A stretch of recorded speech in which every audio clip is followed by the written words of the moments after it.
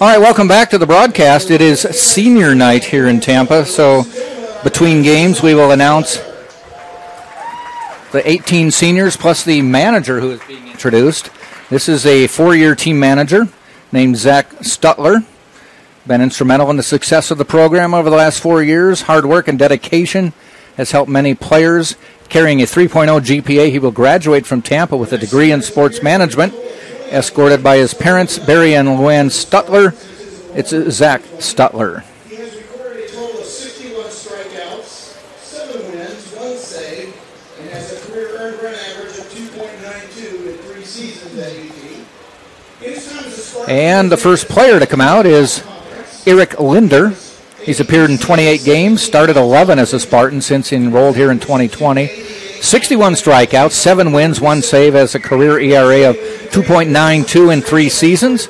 In his time as a Spartan, he was named second team All SSC, ABCA Rawlings second team All South Region, and a D2 ADA Academic Achievement Award recipient. He'll be graduating with a degree in business administration, escorted by Jerry Linder, Beth Linder, and Nana Linder. It's Eric Linder. 16 games since attending the University of Tampa. He is a transfer student from Emory University. Next up is Jack Brodsky. He's appeared in 16 games this year since coming to Tampa, a transfer from Emory University. He played in 31 games there. He has recorded a total of 28 strikeouts, 4 wins, 1 save, and averaged 10.65 strikeouts per 9 innings, and has a career ERA of 1.90. Registered a single game career high 4 strikeouts against Eckerd, graduating with a degree in finance, escorted by his mom, Julie Brodsky, and brother Andrew. It is Jack Brodsky, who pitched yesterday. EJ Daskow, who unfortunately hasn't played in a while after getting hit in the eye maybe a month ago now, has played in a total of 28 games since coming to UT as a transfer from Valdosta State, where he was named the Gulf South Conference Player of the Year, selected for the ABCA Rawlings All South Region first team, NCBWA All South Region second team, and the All Gulf South Conference first team. As a Spartan, he has a, had 104 at bats, 24 runs, 35 hits, 6 home runs, and 23 RBI. Graduating with a master's degree in professional communication, accompanied by Eddie Daskow, Lisa Daskow, and Gabby Acosta. It is EJ Daskow. And Taylor, I tell you, we can't imagine what he'd be putting up had he not gotten hit. Yeah, if he stayed healthy, he'd be in the same breath this season as Urso and some of the others. And it was a ball that hit off his bat and glanced up into his eye. Absolutely terrible luck. Okay, I'm doing one more page, then giving it to you. Sounds good. Okay. Next senior is Danny Gutcher, played in a total of 33 games since coming to Tampa, a transfer from Eckerd College, where he made 46 appearances.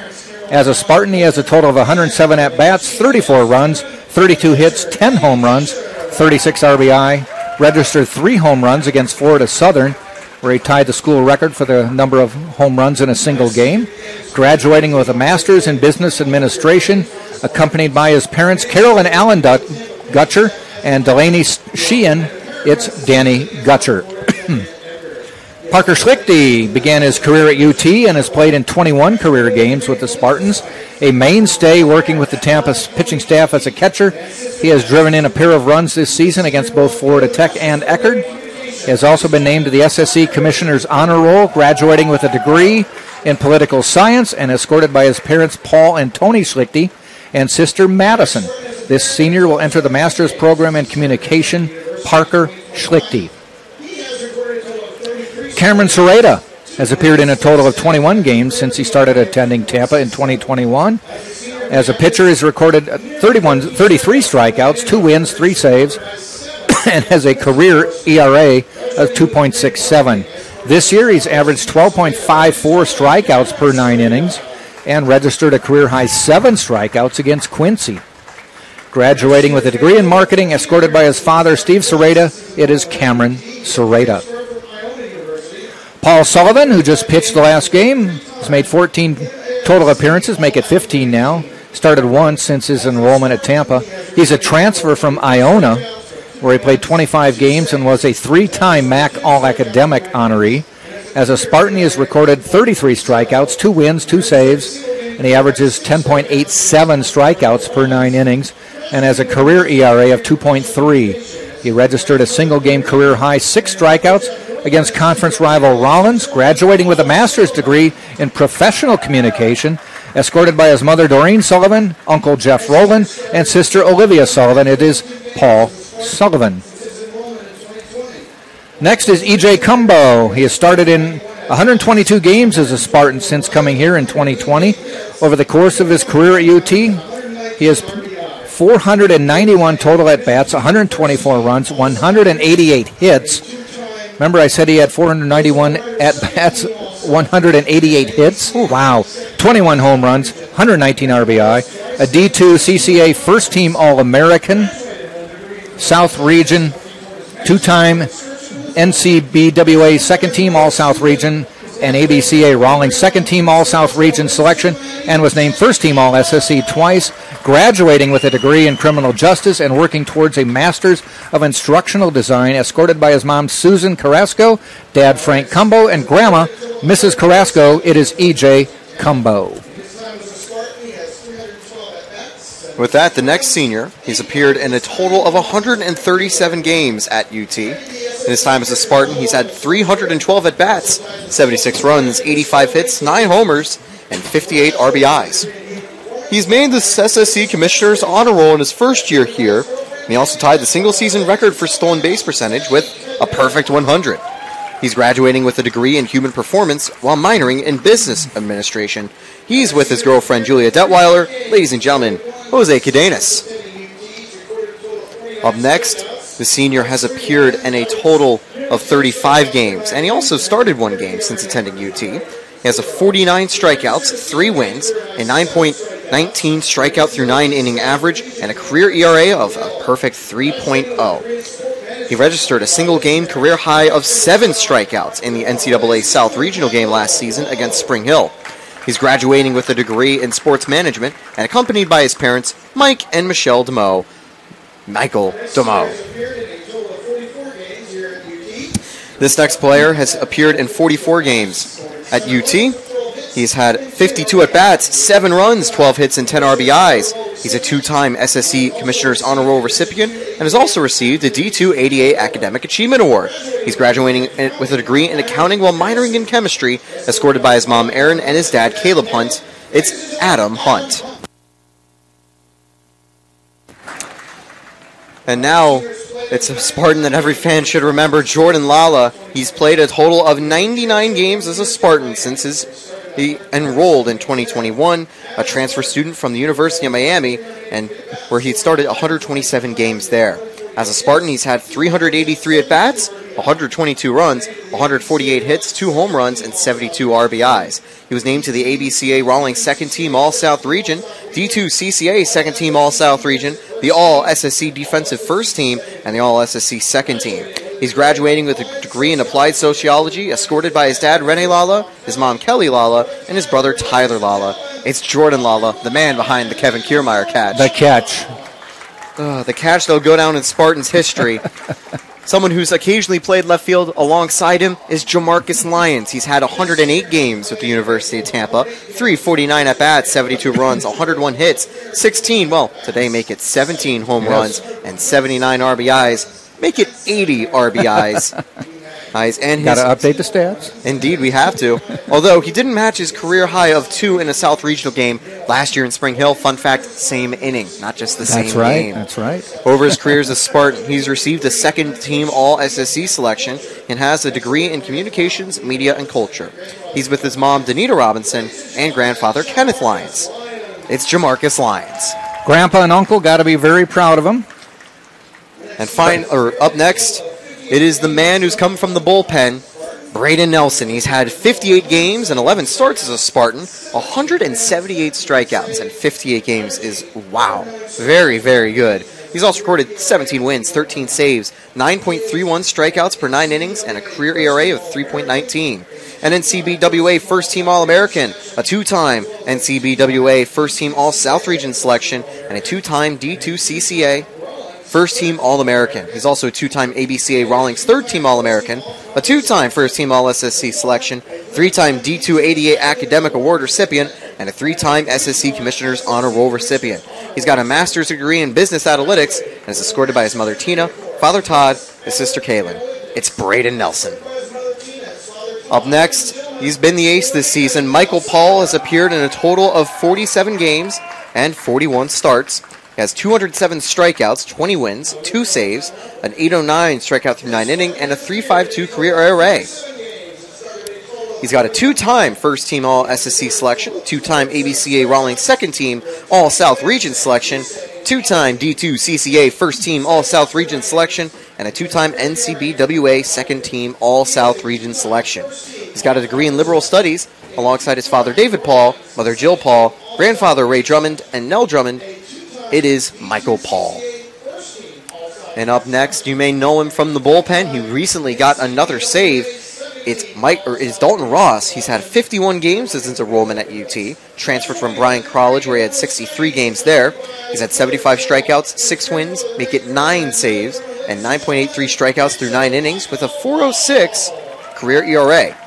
He also had a team high 11.76 through nine innings as a senior, and he's earned first team All SSC honors. He has a degree in instructional design and technology, and is with Tony and Mary Allison Ross. It is Dalton Ross. Wait.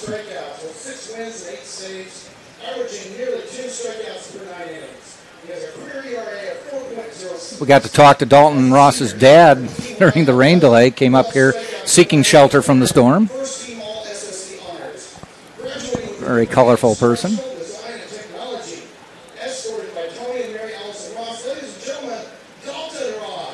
You don't always get to see the players and the players' parents in the booth as well, so it's fun to be able to talk to them. The other thing too, I'm looking out there, going, "Oh, I've seen them in every game. Didn't know who they were." Mm-hmm. And now, another name the Spartans should certainly know and love. He may be only a sophomore in quotation marks, but he's hundred. He's got 127 games since the start of his career. 448 at bats, 98 runs, 158 hits, 8 homers, and 108 RBIs. And this season, he's among the national leaders in doubles and has started each of his four seasons. An All SSC selection, the 2022 and 2021 SSC Freshman of the Year, SSC Commissioner's Honor Roll recipient, an ABCA Rawlings First Team All South Region selection, D2 CCA All South Region selection, NCBWA First Team All South Region selection, and NCWBA All American Honorable Mention. He's got a degree in sports management, and with his mother Julie, Cassidy Edmondson, or, and Cassidy Edmondson, and of course, welcomed by his father and coach, Joe Urso. it's JD Urso. And finally, another senior who goes down in the record books, the final one to be recognized, Drew Earhart, the captain, number two. He's played 251 games. That's a school record since the start of his career in 2017. He has the most at bats with 1,006, plus a few extra he has in this game.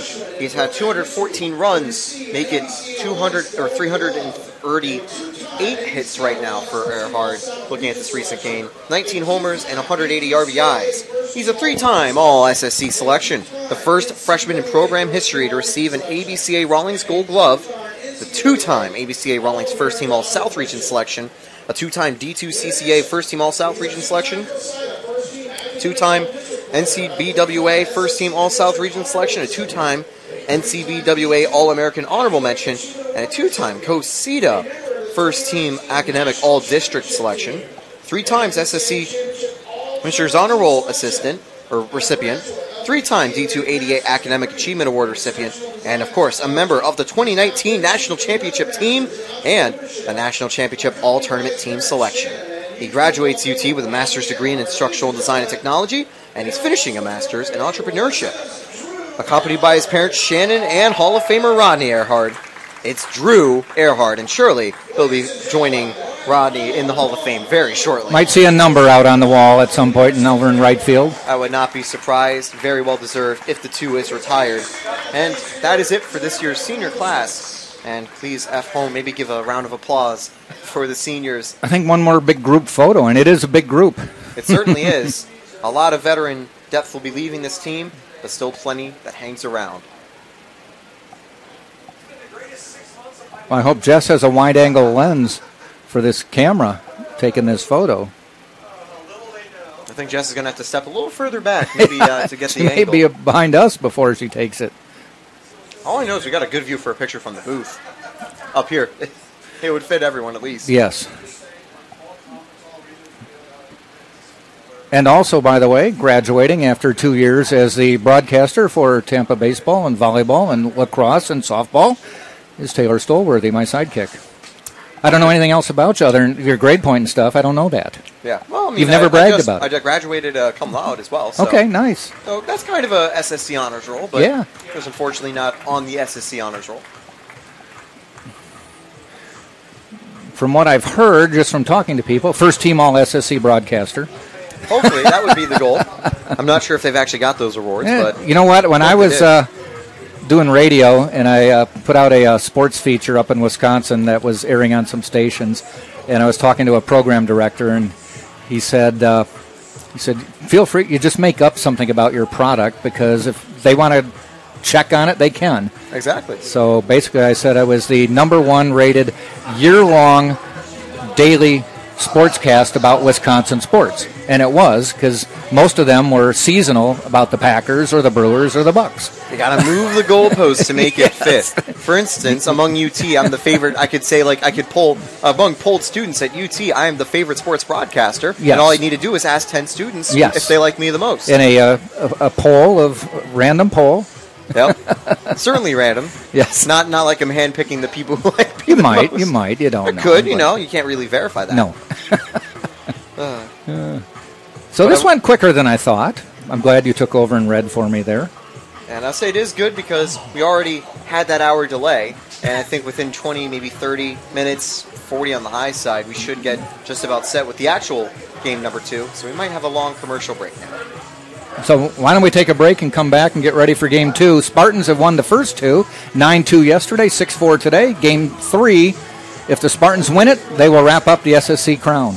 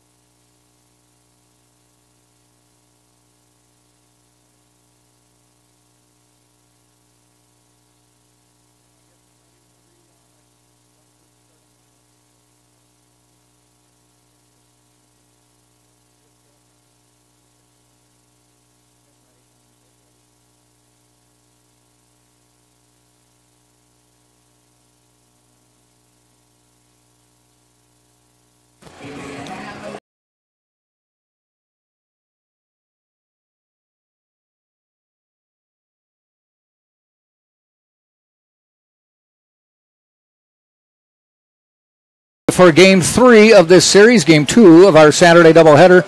Tampa Spartans baseball against the Lynn Fighting Knights. Jack Ike, Taylor Stolworthy. Spartans win. They are SSC champions as St. Leo knocked off Rollins earlier today to give the Spartans a one game advantage in the loss column. We get ready for this game. Senior night is over. 18 seniors announced as we get ready for this game. Spartans will have Eric Linder on the mound, and his battery mate will be Danny Gutcher. As we get ready for this game, the starting lineups for the Lynn Fighting Knights. A familiar starting lineup will have number two, AJ Orico, leading off, and he is a junior from Boynton Beach, Florida. Batting second is number four, playing first base, David Judge, a junior from Troy, New York. Batting third is the center fielder, number 25, Leon Paulino, a sophomore from Lawrence, Massachusetts. Batting fourth, right field cleanup, number 27, Byron Murray. Got a home run in the first game today. Murray is a senior from Nassau in the Bahamas. Batting fifth, the third baseman, number 10, Derek Lamontagne, a senior from St. Amable, Quebec. I think I've said that three different ways for three different games for where he's from. So. I think I probably said it a few different times as well. yes. I accidentally even added. He's from Quebec. from time to time. Quebec, Canada.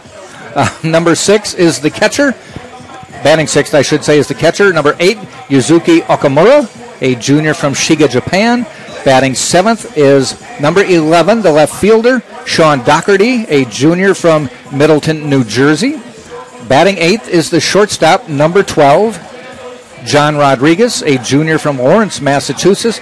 Batting ninth is the designated hitter, number 44, Pedro Martinez. And yes, that is the son of the famous baseball pitcher, Pedro Martinez. If you missed the rain delay in game one, and before that, when we were talking about it, he is in fact the son. He actually corrected us after we had incorrectly uh, reported that last time. It was really nice. We were able to chat with him for a few minutes in the dugout and excited to see him back in the lineup. And so on the mound for the Lynn Fighting Knights is number 26, and that is Eric Heater. And he is a senior from Monroe, New Jersey. Spartans take the field. As we said, if they win it and sweep it, they are conference champions. Eric Linder on the mound for Tampa will set the positions for you. We have Drew Earhart at first base, Nico Saladino at second base, Anthony Nunez at third, JD Urso at short, Jordan Lala is in left, Jose Cadenas in center, and EJ Cumbo is in right. Danny Gutcher behind the plate, and Eric Linder on the mound. Spartans on the year now are 36 and 9 and in the conference are 25 and 4. Rollins 22 and 5. As we've mentioned all weekend long, this is the final Sunshine State Conference game for Tampa. Not the final weekend of the Sunshine State Conference. Every there's 11 teams in the conference, so every team every week one team gets a bye. Five team there are five games every weekend with 10 teams playing. One team does not play. They can schedule non conference if they want, but they're not playing. Next week, the last weekend of the season is Tampa's bye. They've played 10 consecutive weekends of conference baseball. So everyone else will play their final three games next weekend. That's why Tampa has a three game advantage in the win column right now, a four game advantage in the win column. And with those games in hand, Tampa, as I think we mentioned, has the chance to clinch with a win. And you had asked them earlier, how does it feel to have to watch that final weekend? Well, if they win tonight, that won't have to have matter. Fun, have fun. Yeah. They'll be able to laugh, and as long as they don't absolutely bottle the next series next week, they'll pretty much be guaranteed first place in the South region with Smart. it to win tonight. Tampa does play next week, and they're playing Newberry on the road next weekend in a non-conference game. But again, like you said, you want to finish strong because the next weekend is regional play.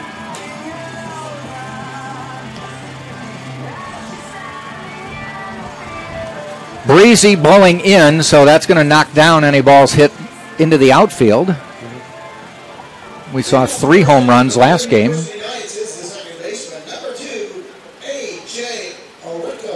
AJ Orico will lead off. Do you have stats, by the way, on Mr. Eric Linder? Yes, in fact, I do. He's one of the team's better starting pitchers, entering this game with a 281 ERA through 25 innings. This is just his third start of the season. He's got 15 strikeouts to 7 walks. It's a little more pitch to contact, but can get strikeouts when he's needed to. First pitch was a strike to Orico. Second pitch called strike two, up quickly 0 2. Weird to see him down this early. Rico had a great game last time, reaching base every single time he stepped to the plate.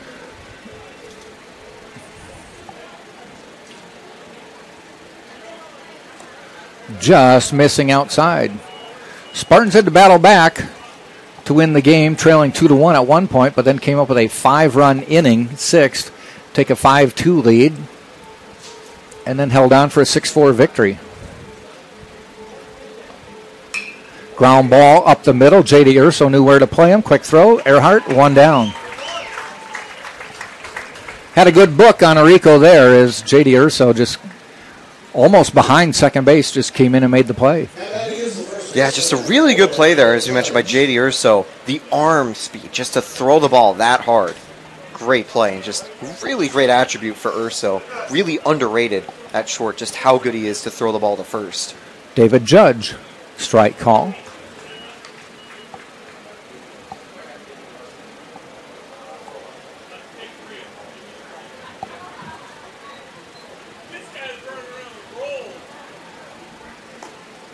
Pounding the strike zone early. This game starting at 8 o'clock, not 6 o'clock as previously scheduled. We had an hour plus rain delay during the first game after the fifth or sixth inning. It was during fifth? the sixth inning at sixth. the bottom of the sixth. And it was funny because the first pitch, we resumed play, it ended the bottom yeah. of the sixth. So all we would have needed was one more pitch to get to the break, but the rain did get in the way. It had been drizzling for a while before then, but then really started coming down. And it was a very isolated shower, just basically encompassing the Tampa City limits, is about all it did. In fact, Rollins, who's still currently defeating St. Leo in their final game of the series, they weren't affected by rain. No. They were able to play straight through it, so they were definitely luckier on the weather side than us. I think had they played at St. Leo, they'd have gotten the rain we got. Yeah, but I know there was something that happened last year too, where St. Leo had rain during the postseason weekend. There's a shot coming in, falls in for a hit though for Judge. But yeah, St. Leo had a rain delay and like rain out actually on the, on one of the days when Tampa actually remained dry. So hmm. interesting how weather can work, just affecting one area. Forty miles away, yeah. Exactly. Leon Paulino coming to the plate.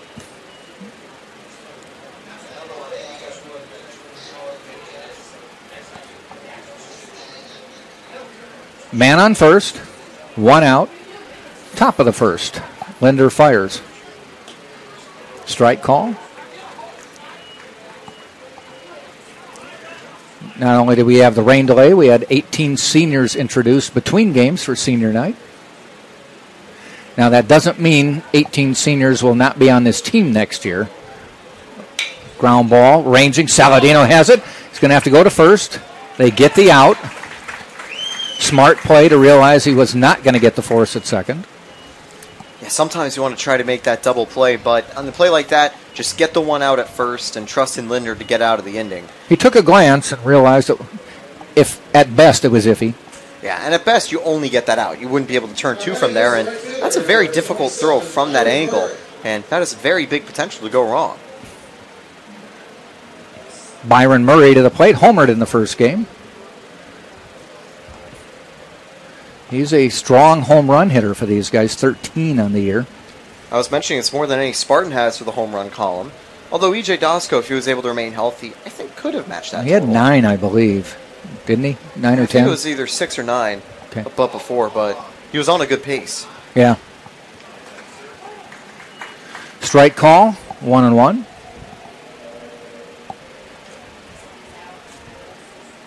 So late night baseball, at least for us. We'll see the lights on uh, Tampa not too long from now. I think they're on. But just currently, the red ones aren't going in center field. Oh, yeah, the uh, the fancy lights. yeah. The whole light system also is a bit fancy. They do sometimes go off. There's a Spartan home run. I've only seen the light show a few times this season, unfortunately. But Spartans don't have too many late night games, especially this late into a series. Right.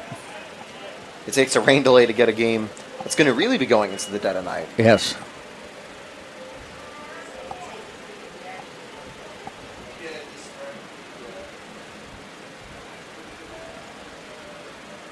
Two-two. Tap foul right below the plate.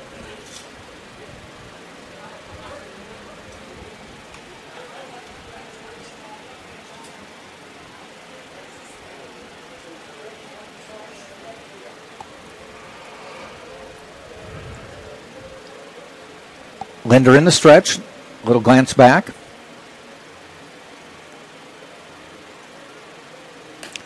Just missing. I'll say him where he's putting his pitches really showcases that he is a ground ball pitcher. He's going low in the zone where he wants batters to get on top of it. 3 2 pitch now. Little off speed, fouled off.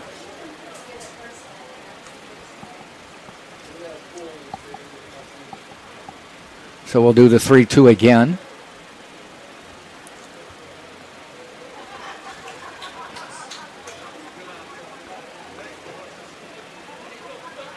And the pitch.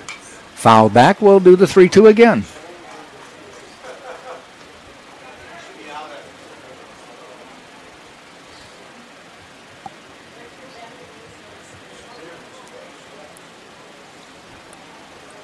Murray digs in. Linder gets the sign and gets set. Off speed, hits it out to center field. On his horse is Cadenas. Back, back. Makes the catch on the run to end the inning. Showing some pretty good speed. No runs, one hit, no errors. They left a man. We played half an inning. It's no score for the Fighting Knights. Tampa coming to bat.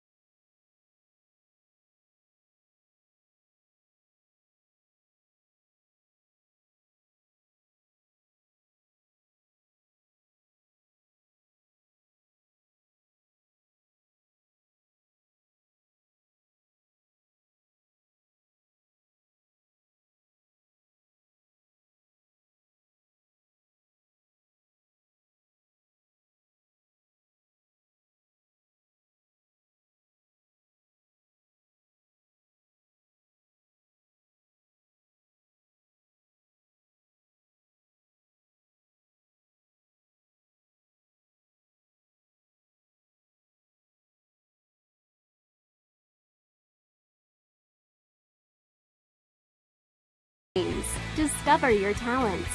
Get ready to invent, innovate, and be a leader.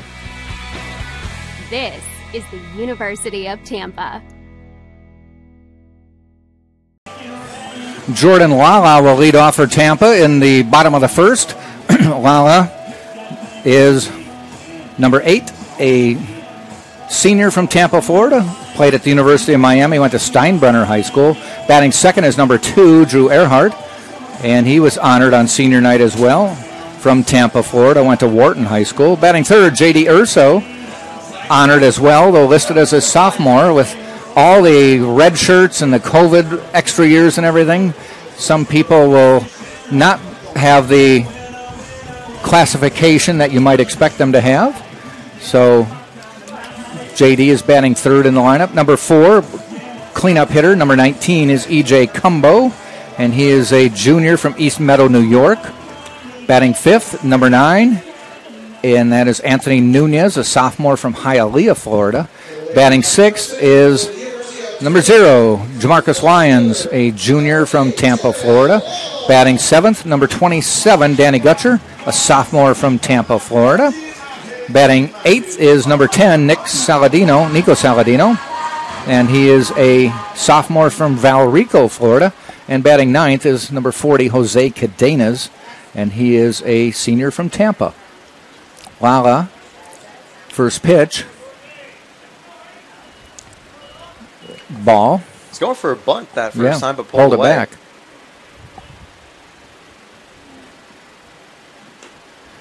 Heater on the mound. I got his stats right here if you want. Take it away. 565 ERA, 14 and a third innings pitched. Not too bad, 11 strikeout to 6 walk ratio. Lefty to lefty here.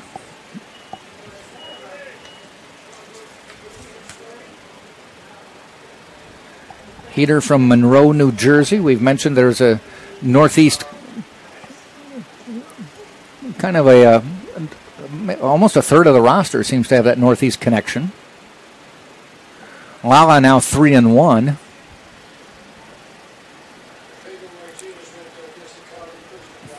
And the pitch. Tap foul. 3 2 then. You know, Taylor, one thing I think we found out is with this new turf, first real rain, first rain this year during a game anyway, but it, it held up very well. 3 2. Tap foul. Yeah, it certainly did. The only thing was players slid a little more, but Yeah. that was just about it. It still played well, and it dried quicker than grass would. That's where it's really a swampy condition, you're like, oh man, are we actually able to play? Yeah. But no, the turf was able to drain pretty well. It didn't really pool anywhere that we noticed. If it did, it disappeared quickly. Timeout called.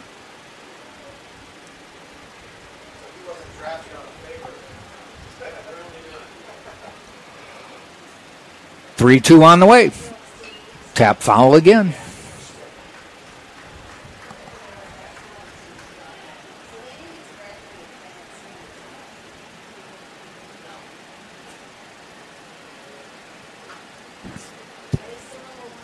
While uh, waits, heater sets. And a long look, but a walk for Jordan Lala. Just finds a way to get on base time and time again. Lala entered with a 553 on base percentage for this game. And that number has gone up a little higher. That's walk number 40 on the season. I'm going to take a look really quickly. Uh,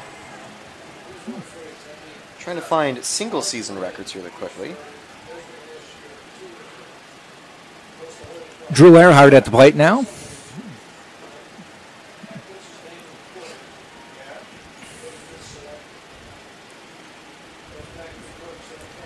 See if he tries a bunt. Again, they go to first.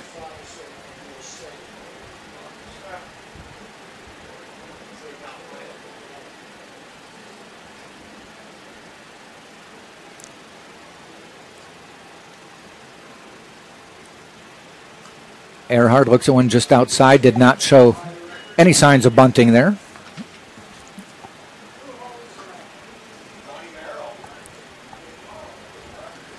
Earhart two hits away from setting the all time hit record for Tampa. Career hits. Strike inside corner.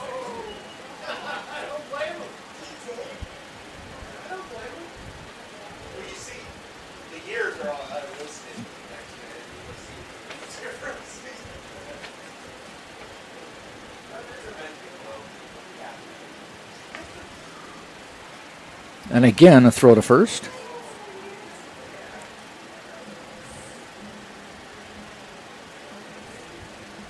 Lala stole two bases in the previous game, so obviously that's the reason they're going to want to be a little cautious of him. Yep. There he goes. Hit and run, fouled off. Lala's now at a perfect 30 on the season. Obviously, he didn't steal this one, so we didn't go to 31 just yet, but still 30 stolen base in the season is pretty impressive. We were 87 degrees game time with a feels like of I think you said 96 at one point. We're 75 now after the rain has moved through and it's getting dark later in the day. One two pitch to Earhart, a snap throw to first.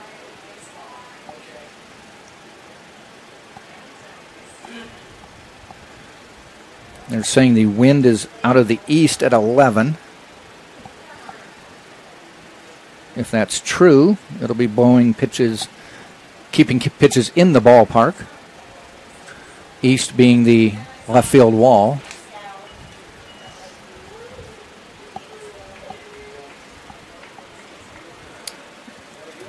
Two and two now. Urso on deck.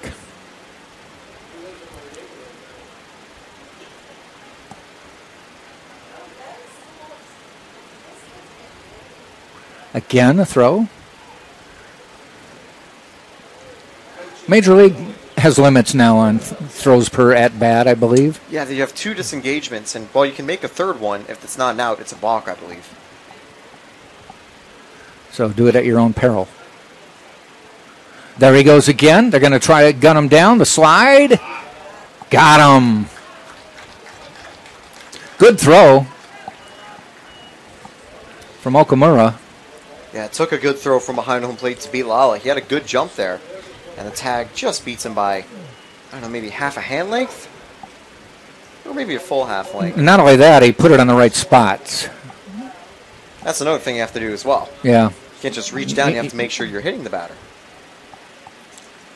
Bounces that one into Drew, and Drew will head to first. So back to back walks to start the game for Tampa, though Lala thrown out trying to get to second. Now batting the shortstop, number 11, Jay. JD Urso to the plate now.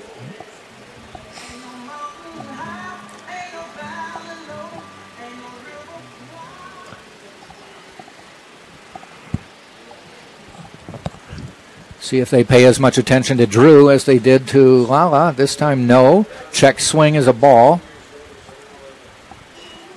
They wanted to check quickly with Christopher Wirt, but Wirt said it was all good, and I think from this angle he held up by, Yeah. uh, by a pretty safe distance. I would agree.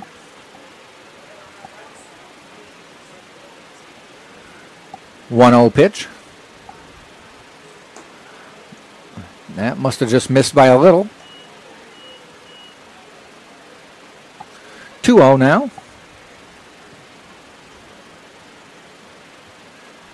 Well, sir, you gotta have a lot of patience to use this new website at uh, UT for Sports. Heater in the stretch. Why did you change it? That one misses outside 3 0. Heater kind of looks like, well, where did that miss? I think you got to take all the way if you're Urso here as well, because here, Yeah, he he's hasn't struggling with command a little bit. Yeah, he hasn't had- been getting the zone. back to back walks. Now 3 0. Make him throw you a strike. That was a ball. Three straight walks to start the game, though only two runners on. EJ Cumbo coming to the plate. Just out of curiosity, nothing going on in the Fighting Knights bullpen. Now batting is the right fielder, number 19, E.J. Cumbo. And there is a trip to the mound, though, as I said, nobody throwing.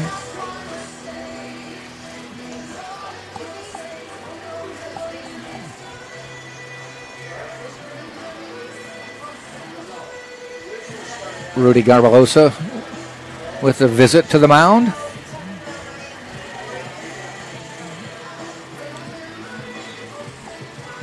Cumbo waiting just outside the batter's box. I think it's a little disappointing for the outfielders. They get to, they miss out on this little team talk and huddle. That's meant to try to motivate and get the team refocused. Got to motivate yourself if you're an outfielder. Got to stay motivated, stay loose. You got a lot more ground to cover. And we'll mention there is activity at the bullpen. Now there is. I would not be surprised. Oh, if they're scrambling. see- Yeah. yeah, they get to someone just throwing in case Heater still struggles to find the zone. And while we saw Nelson struggling a little bit with command in the previous game, Tampa was in a position where they could find someone in the bullpen easier. They mm-hmm. don't have to scramble here in the first inning to worry about. Right. So Heater with two on, one out. Cumbo at the plate. And a strike call. Oh, one concert for that.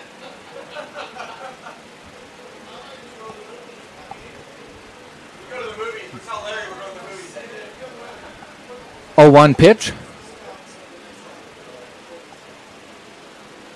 Went swinging after that one. I don't know if he fouled it off or just bounced off the glove, but regardless, it's strike two.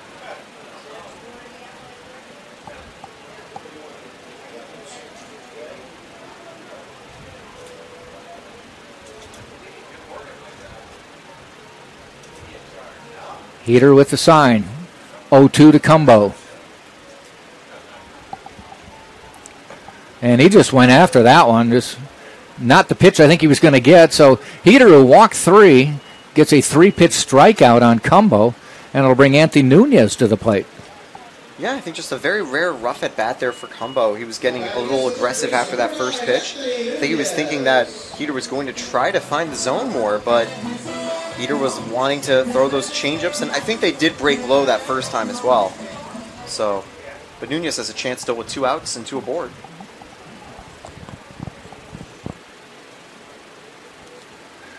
They shift in the outfield for Nunez, actually playing him to not pull the ball in center anyway.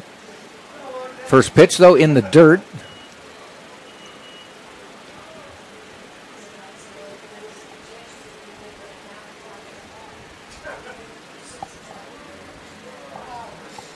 Long look.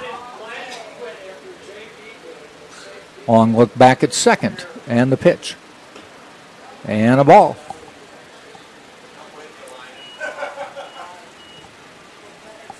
I thought he called it a ball.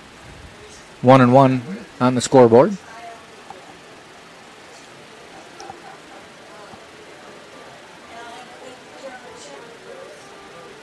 Popped up. Uh, they're giving chase. Out of play, though. Probably got to, in that nine hours thing, you probably got to see your son hit three times. So one ball, two strikes now to Nunez. First starter for me in the coach. In fact, he got the Tiger. Yeah. Heater in the stretch. Two on, two out. Strike. See, I thought the scoreboard was wrong. Okay. Yeah. It's 2 2 now. Yes. The Stats broadcast site had it correct, and by the way, you can always follow along the games with the Stat broadcast site and check out the live stats of the game of your favorite players. See, that's multitasking too much for me. Yeah. I just look at the scoreboard, and I believe I like, one believe to- him. It's, it's hard because you got to choose one. That's ball high, so we agree it's three two now. Yep, 3 All 2. right, Okay. And so does the stat site, and so does the scoreboard. But yeah, I definitely get it because, like, again, you'll have conflicting data. You really got to find one source and stick to it. Scoreboard's right 99.9% of the time. 3 2 pitch with two outs, so runners can be moving. Heater in the stretch. There go the runner. No. I don't know if that scoreboard was right either because nobody was running on the pitch. Well, it is two outs. Both scoreboards have it right, and well, there was a strikeout and a uh, runner caught stealing. No, well, we know there's two outs, but I thought on 3 2 the runners might be going. They were not that much. 3 2 again. There they go. Ground ball out to second base, fielded by Orico, and they get out of the inning. Spartans got three on with three walks. One got thrown out stealing, and nothing across. We've played one inning, and it's no score. Tampa and Lynn on TampaSpartans.tv.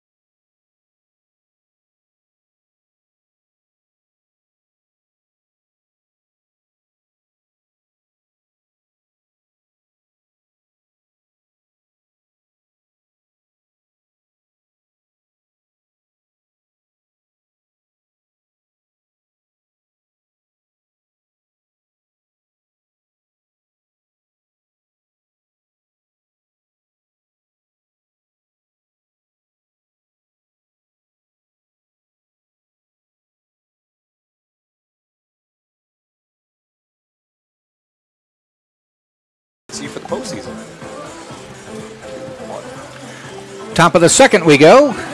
It will be Mont- La Montaña, Okamura, Doherty. Eric Linder on the mound for Tampa.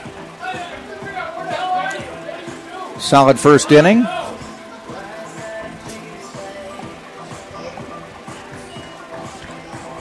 So it was definitely a little easier inning than Heater had on the mound. Linder did concede the opening hit, but was able to keep his pitch count just to a modest 20, uh, and ultimately got out of the jam. La Montagna now waits. They put a big shift on for him, too. You can see JD Urso almost behind second base, and if they get to two strikes, you'll probably see JD go to the first base side of second base. One strike, two strikes. I like to kind of call that style a shift where you send everyone to one side of the And field. there he goes. The Gallo shift, where basically Joey Gallo, before the shift was banned in the MLB, was the biggest recipient of this type of play. And you look where uh, Anthony Nunez is, is, he's playing even further. uh, ground ball, foul. He's even playing more to second base than a shortstop might play at a normal position. Yeah, like that's near it, but it's, funny to see him literally being like in that shortstop spot, yeah, and you see Urso playing second base, and then Saladino. he's like the rover in Yeah. softball. They need to find a new like position name for that as well. Although they're not going to use it anymore in the MLB, so Yes. maybe it's not as necessary. 0-2 outside, one and two. You got to wonder if that's tempting for a batter, but they're like, you know, I, I just want to hit the ball. I don't know if I've got the skill to actually guide it over there. Fouled back. I definitely think at some point I'd want to try a bunt down like the left field line. Even with two strikes? Oh, not with two strikes. Oh, okay. That would uh, yeah, no, that would probably be a little step too far. Okay. That could also be something that uh, Urso's watching out for. Why he's only employing that with two strikes. yes. The pitch. Ground ball right to Nunez, who were moved over there. Guns him out. So that worked out. Now, had they played a normal position, it would have been a ground out to Urso. Six three instead of five three. Yeah. Now that is the catcher, number eight, Azuki Okamura. Yuzuki Okamura to the plate now. Came as a pinch hitter in the first game today. Started yesterday behind the plate. And a strike call.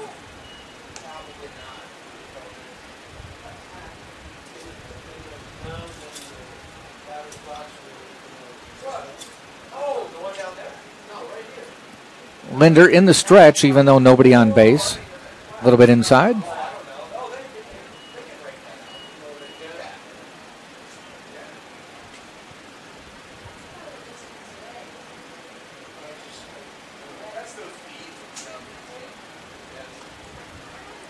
One one.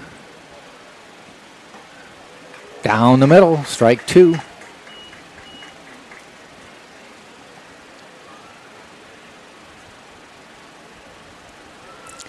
Both short and second are on the grass. Now they creep in. Fouled down into the Lynn bullpen. Stays one and two. Has anybody told you, Tommy, how long those spans are?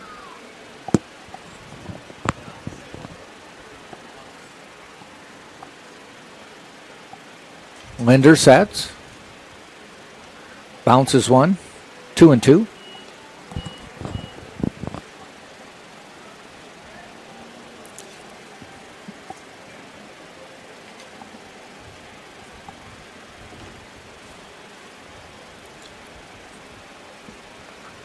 Just missing outside. Goes full, 3 2.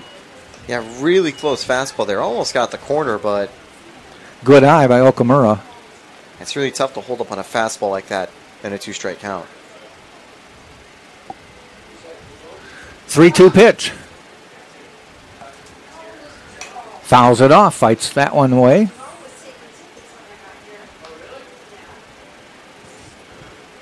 Looked like he talked to the umpire and said, Was that a strike? yeah.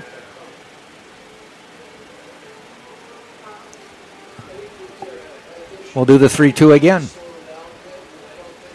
That looked pretty good. Okamura wanted a walk. He can walk to the dugout. I gotta get your eyes checked. He went just before the call was made, and well, it was just on the edge of the zone. It looked pretty good. Yeah. Linder's done a good job with, with those low fastballs, and hard to tell from his from the angle up here. Could be sinkers, could be breaking a little Mm-hmm. bit, but maybe like a good two seamer, too. But Doherty to the plate now. And he hits that one high, not too deep, coming in as Cadenas. And he makes the catch to end the inning. More height than depth. Inning is over. We've played an inning and a half. It's still no score, Tampa and Lynn, right here on TampaSpartans.tv.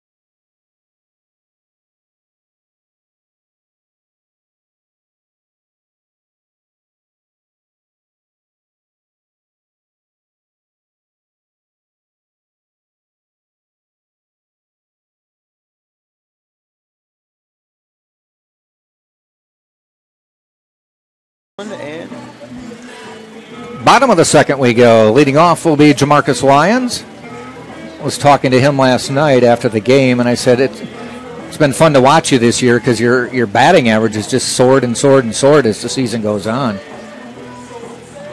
He didn't offer any reason. He said thanks, but he, he realized it was true. I think a lot of it has to do with just we had noted that he was hitting the ball right at people. He wasn't making bad plays. He was smoking the ball, yeah, he but was right uh, at people who just made plays. If we had Statcast or the Baseball Savant page for him, it'd be a lot of red circles. He's hitting the ball very hard and very well. The problem is just a lot of what happened at the start of the season went right to the outfielder. Jumping catch by shortstop. Yeah. And just other unlucky plays like that. Yeah. He's been incredibly consistent and also just recently, in the first game, hit a home run. Yeah. He's hit the ball hard and hit the ball well all year, but he's finally hitting them where they ain't.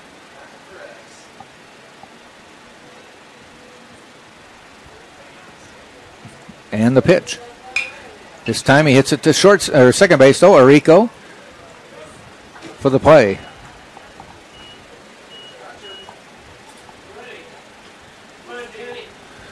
And it will bring Danny Gutcher to the plate. Number 27, Danny Gutcher.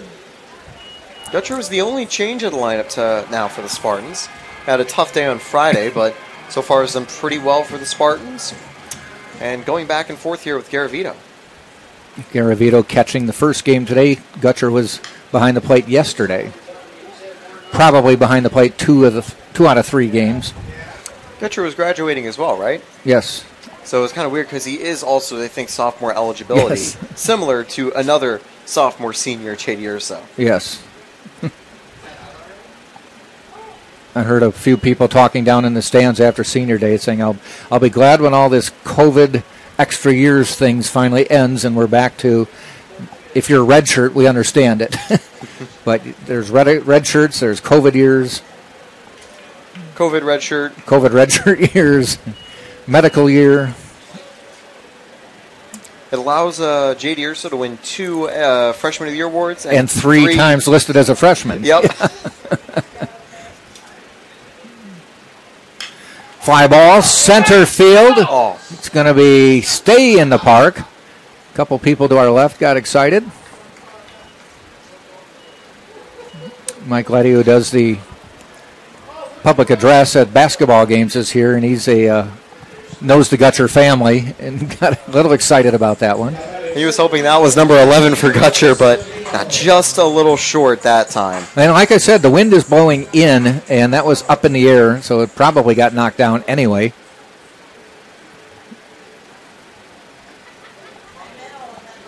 Saladino to the plate now. Been a solid second baseman and batter for Tampa since getting into the lineup. Swing and a miss there. Heater certainly settled down since the first three batters of the first inning. He's finding the zone more, and that's important. Important to really just keep him focused for the start. And of course, Lynn's bullpen is now empty because of that. Shot down the line to the Lynn bullpen, so they do have to scatter a little bit.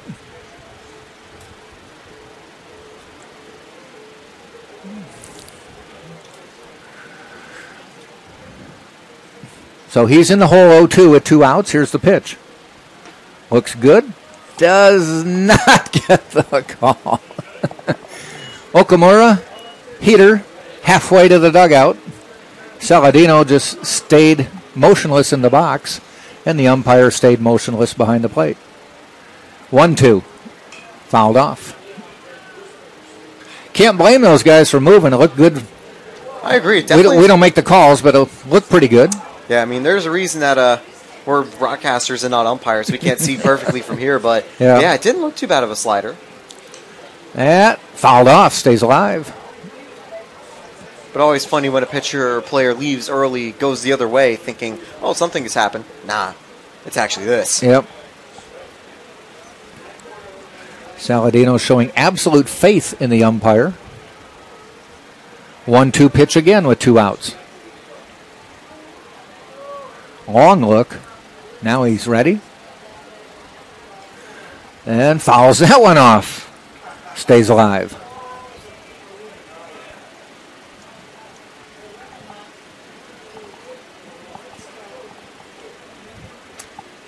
Heater, I believe, is going to be over 40 pitches at the end of this at bat.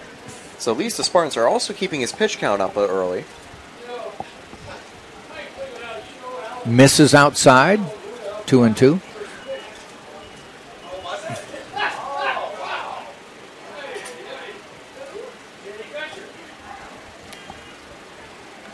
Two two with two outs. This time they ring him up. So he goes down swinging. The only bad thing about that for Lynn is about five more pitches to get out of the inning, finally getting the strike three call. So no runs, no hits, no errors for Tampa in the bottom of the second. We played two full. No score, Tampa and Lynn on TampaSpartans.tv.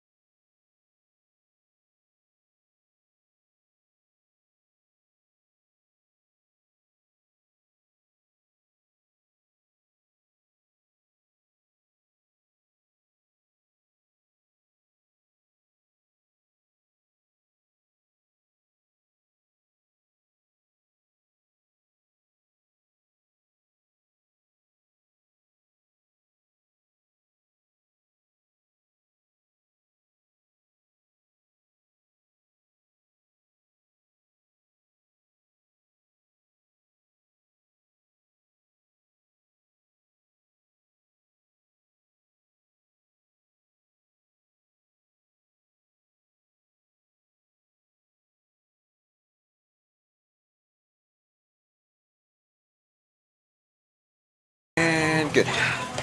Rodriguez will lead off the top of the third for Lynn. No score so far in this game. Linder and Heater matching up here on the mound. Linder so far, two innings, 35 pitches, giving up just a hit.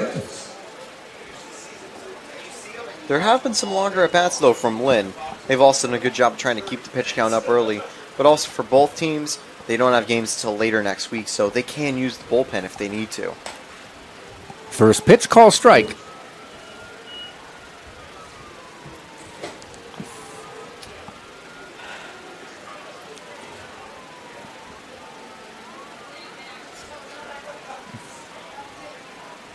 Second pitch, a ball.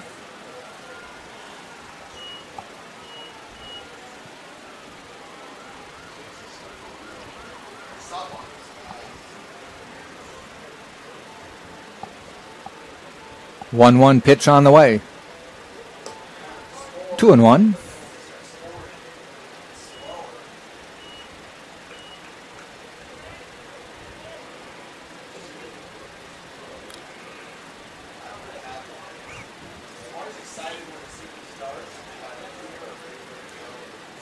Linder in the stretch. Popped up. That is a major league pop up. Nunez drifting into foul territory makes the catch.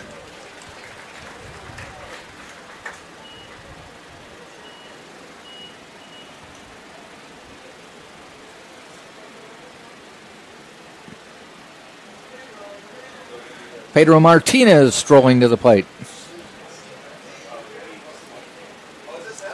Now batting designated hitter number 44, Pedro Martinez.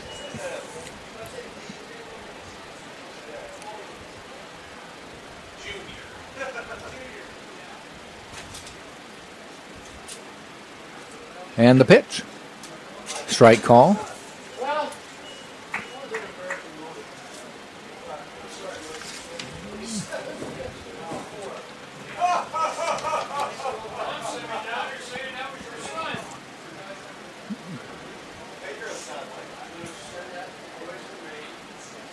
And one and one.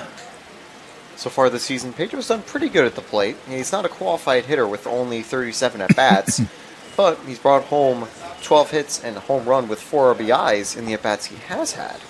So 12 for 37, somewhere around 320. 324. Okay. But he also has an over 400 on base percentage. Okay.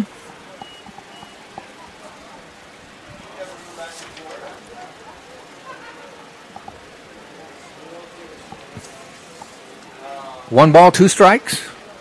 Swing and a miss. He goes down. And we've got two outs here in the third.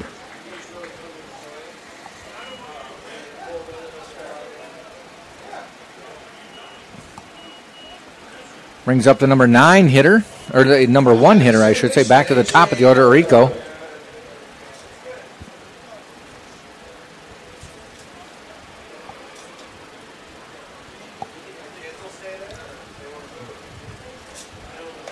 Swing and a miss.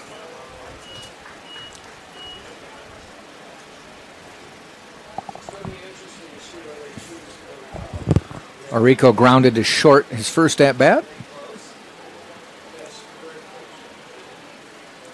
Ball outside. Spartans are very, very shallow for Orico. A good average hitter, probably. He's not known for his power.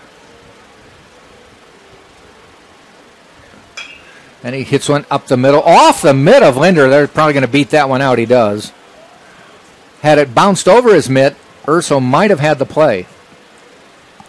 Yeah, I think Urso would have had a chance at it. Would have been especially close as well. Marico was going to have a good chance to run it out no matter what, but You can't tell a pitcher not to try to field that, though. yeah. So a two out base hit. And it brings David Judge to the plate. He swings at the first one.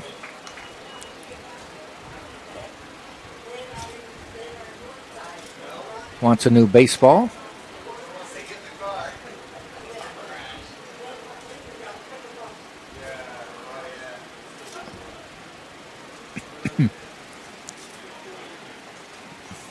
Orico with a short lead. Now wide, now goes in the dirt. It's a throw, and he's going to slide in safely. Close. Gutcher with a pretty good throw, taking that one out of the dirt. Yeah, close play, but it did just go a tiny bit high. Yeah. That's what I think just barely missed the tag. You know, when you have to field the ball, you know, kind of make a stop of the ball. Now, what was that call?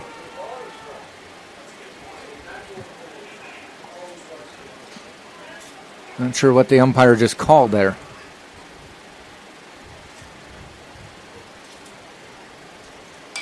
Foul back. I'll say Paulino is unfazed. The foul ball landed right next to him. I was gonna say, did he he just kept doing his warm up swings. Yeah. You couldn't see it, folks, but the ball hit the screen behind home plate and bounced within inches of hitting Paulino in the on deck circle, and he acted like he didn't even see it.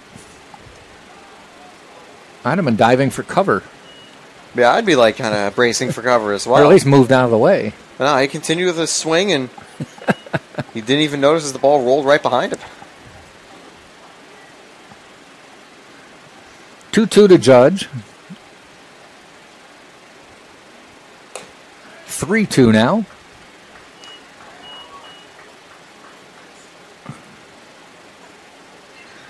Man on second, two outs, and a 3 2 pitch coming up.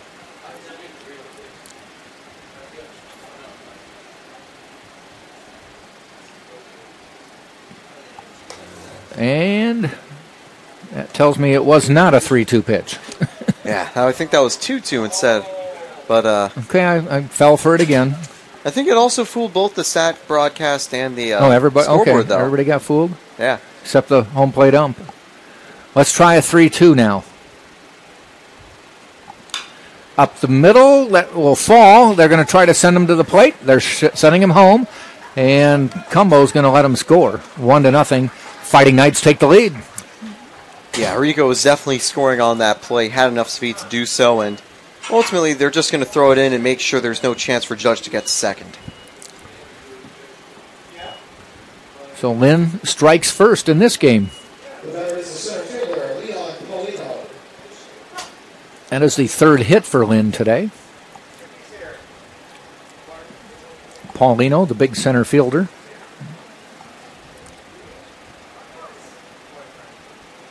Oh, the roast. Swing and a miss. Shut up, Corey. Father. Better hand. Baby daddy. Not surprised he swung at that first pitch. Was fearless warming up. Down here, the roast is going to be burned by the time you get home. That one's hit out into left field. Fair ball bounces away from Lala. They had to wait on that one to see if it was fair or foul. Actually, the runner on first scampered all the way to second. And that'll be a double for Paulino. So now runners at second and third with two outs. That one landed about a foot fair and then angled into foul territory, forcing Lala, who was playing way, uh, shifted way to toward center field, a long run just to get to that one. Murray at the plate now. Certainly one of the downsides of the shift because you can be vulnerable to foul ball or near foul balls like that, where there's no fielder ready to make the play.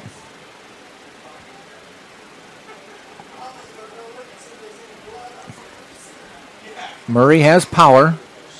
Ball high.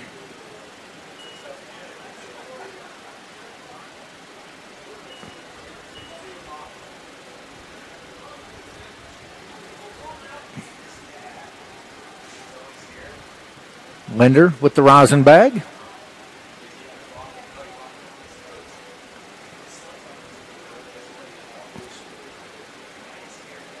And the pitch. Popped up. That is a major league pop up. Urso makes the call, makes the catch. Out of the inning, they do get a run. We played two and a half, and it is one to nothing. Lynn leads Tampa on TampaSpartans.tv.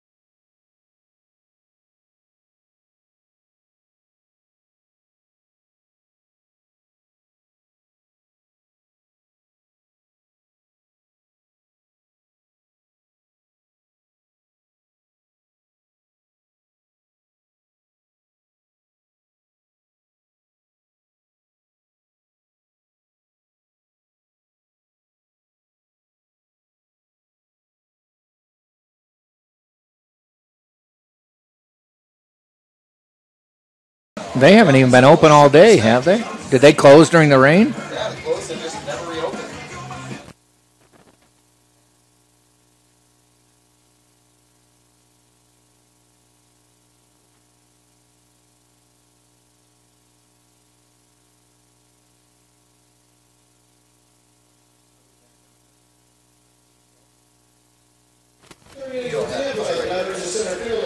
Bottom of the third we go. Leading off for the Spartans will be Jose Cadenas, number nine hitter in the order.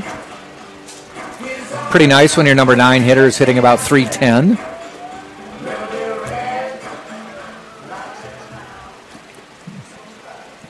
And we've got a uh, umpire having a discussion with somebody.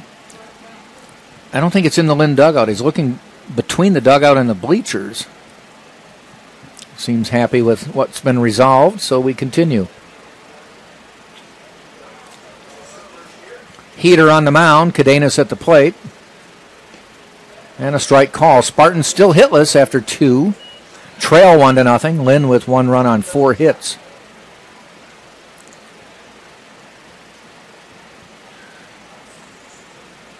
And the pitch.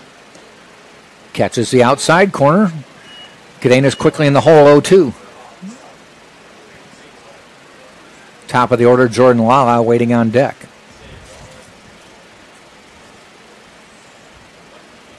Does he waste one or throw down? Well, he may have tried to waste one, but Cadenas swung at it and missed on the outside pitch. So that will end his at bat with a strikeout. Third strikeout for Heater. Started the game with three straight walks.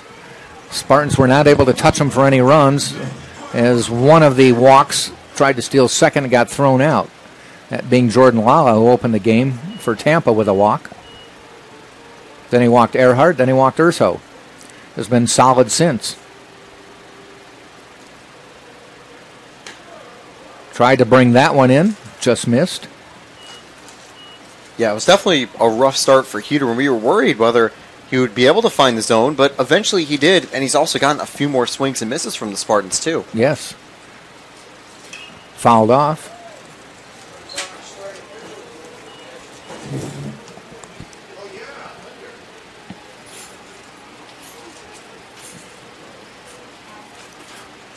One ball, two strikes. Heater fires. Lala watches that one inside and low. Two and two.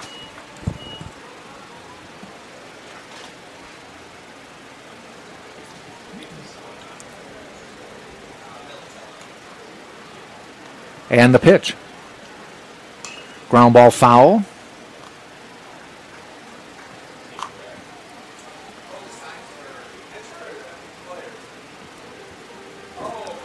Lala steps in. He steps way close to the plate in the batter's box. Summer in the middle. And the pitch. Missing outside. So he's at the back of the batter's box, but up close to the plate.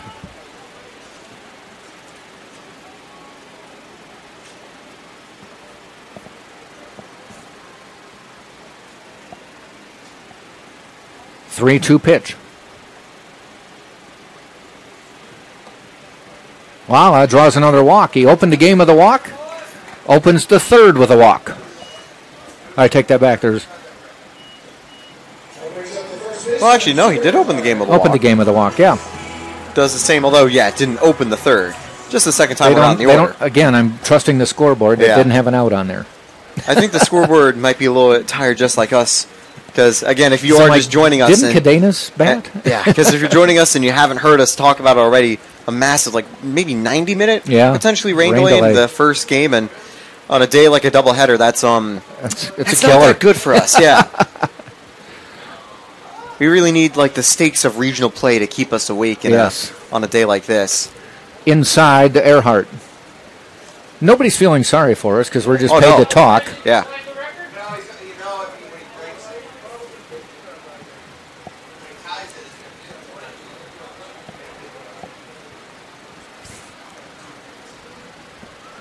And the pitch to Drew. On the corner, strike call. Earhart was part of that walk chain in the first inning. where Lala, Earhart, and Urso all got a free pass. But unfortunately, no one scored.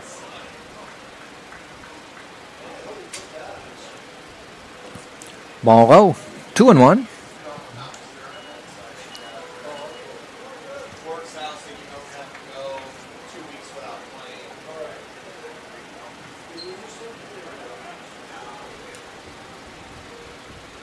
Long look at first and the pitch. Up the middle. Maybe a double play. Got one. The relay gets away. Does he have a chance to go to second? He does.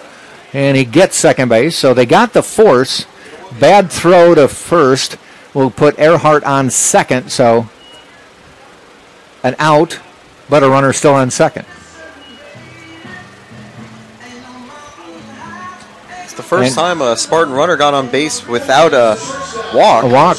Because it was the fielder's choice at second and then the errant throw. It was a good idea there from Orico, but I think a little too aggressive.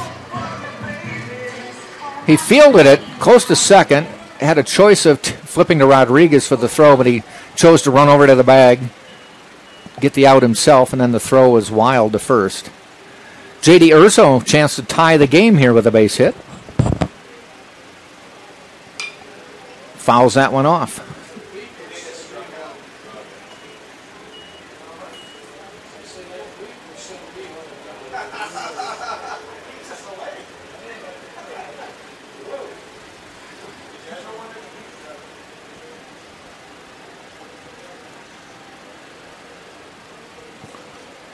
Oh one on the way. Just missing outside.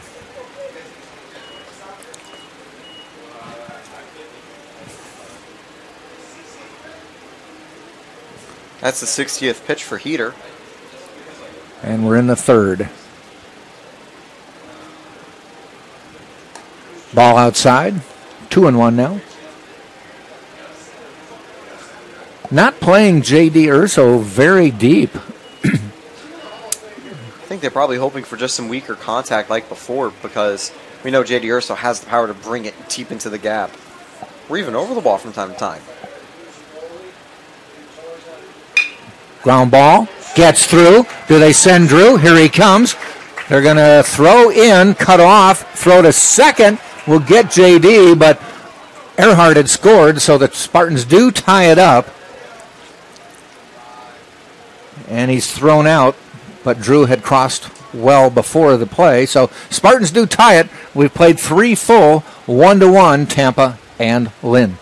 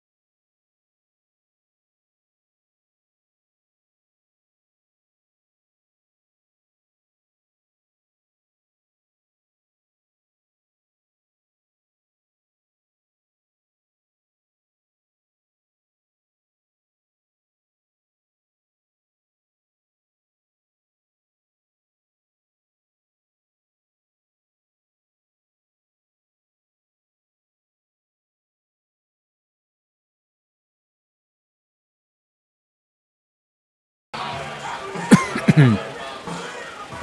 I think it's good. We go to the top of the fourth inning, a 1 1 game. I'll turn it over to Taylor to get some action going here. Get us awake. Yeah, both teams open the scoreboards with Lynn bringing home a run and Tampa just bringing home a run on that final play of the inning. They were almost no hit through three despite the early shakeups from here, but it was that RBI by JD Urso. Just got caught on the way to second. The five, six, and seven hitters are due up for the Fighting Knights.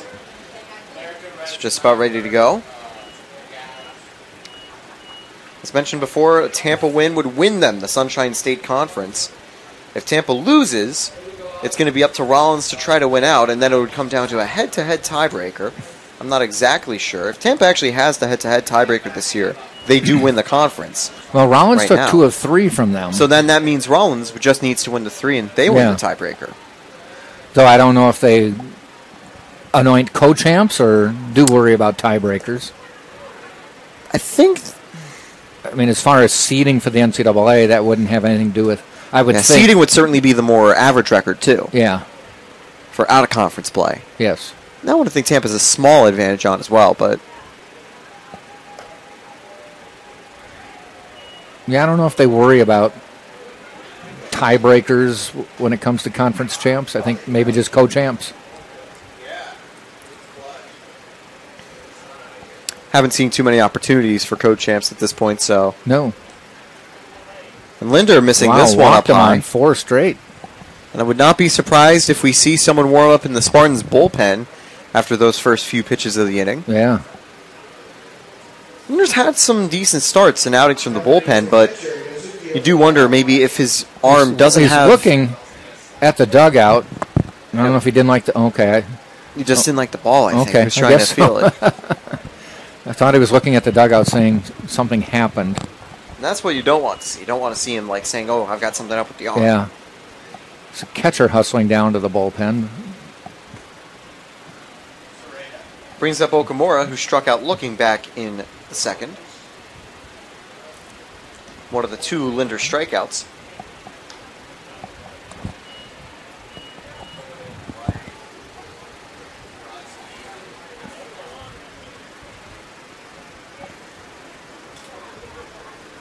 The 1 0. Just missing low, ball two. Here comes Sam Militello. He almost looked. Linder almost looked like he was laboring on the last couple pitches. I mean, just didn't. They didn't look comfortable. Yeah, that will certainly be the worry, and that'll probably be one of the things Militello asks as he checks in with Tampa starter for the game. It's been more BABIP luck that's gone against him with the four hits allowed, including one of those that was right on the foul line. Yeah. A little blooper almost that Lala just was playing a shift for. If he was in a normal position, he could have made an attempt on the ball, or at the very least been closer where if it drops, it's not as uh, big of a play. Okay, done with the discussion. There is action in the bullpen, though. They uh, the bullpens have been moved behind a fence. It's in a gated community now, so we can see the ball going back and forth. We don't know who's throwing it. Yeah, usually those bullpen changes just remain a surprise to us until they actually happen. Unless we see somebody running down, I didn't notice. This one's taken low and it's ball three, Hmm. hitting the dirt. Gutcher's on top of it, so there's no chance for La Montagne to, to steal.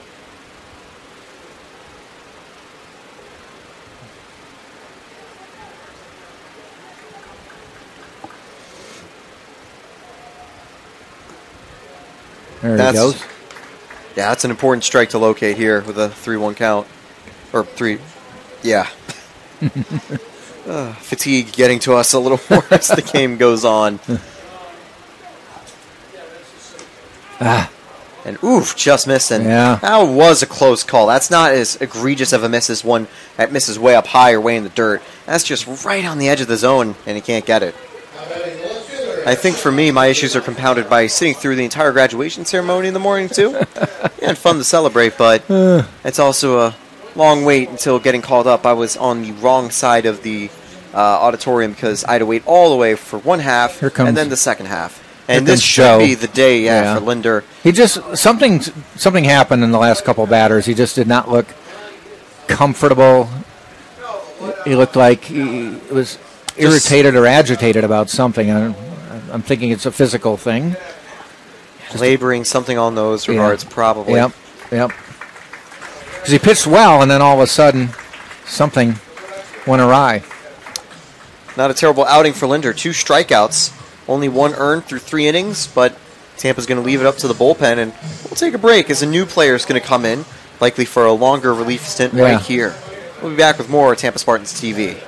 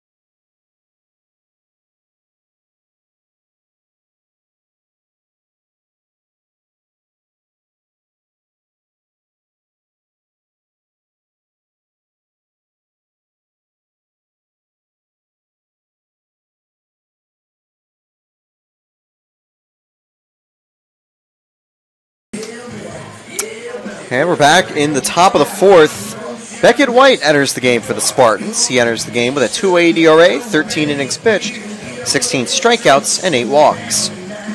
Linder had something going on, and Tampa's going to be making a change to see if they can now work their way out of this jam. Two aboard, no one out for Doherty. And I have a feeling that Lynn is going to maybe try to bunt the runners. That's something they've done as well. Kind of responding to Tampa's small ball, but with some small ball of their own.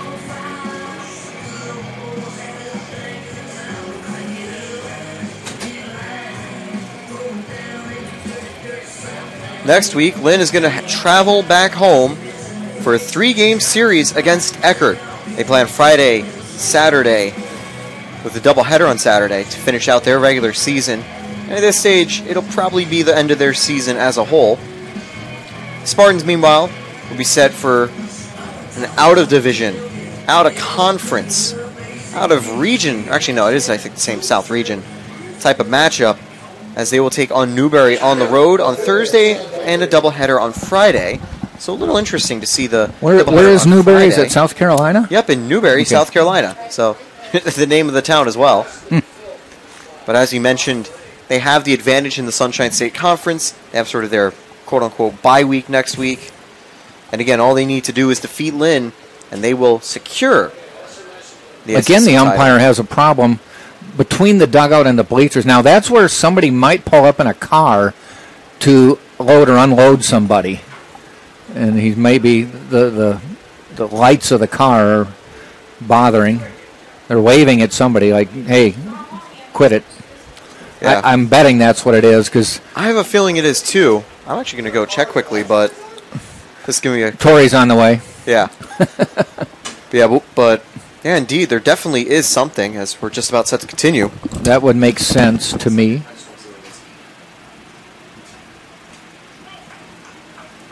So first batter, Doherty shows bunt, pulls it back.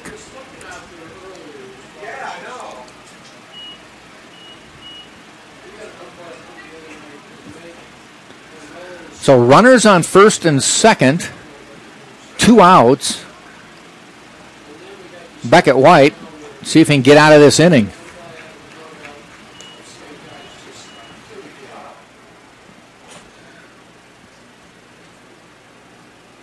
One ball, one strike. White fouls it off. Or Doherty fouls it off. What'd you deduce? Just lights, nothing too much. Yeah, but that could be distracting to the fielders.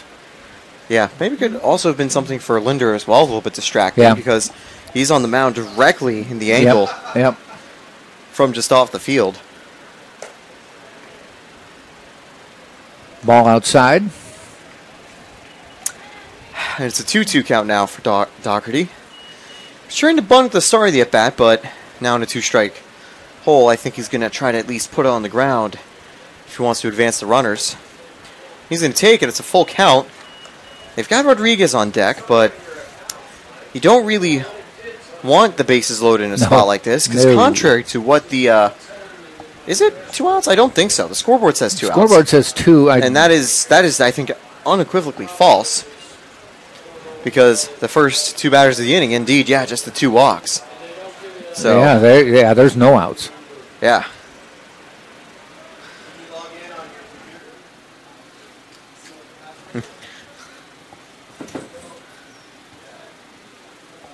So here's the 3 2.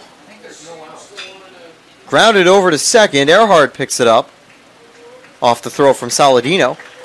So it will advance the runners. And that will actually be the first out of the inning.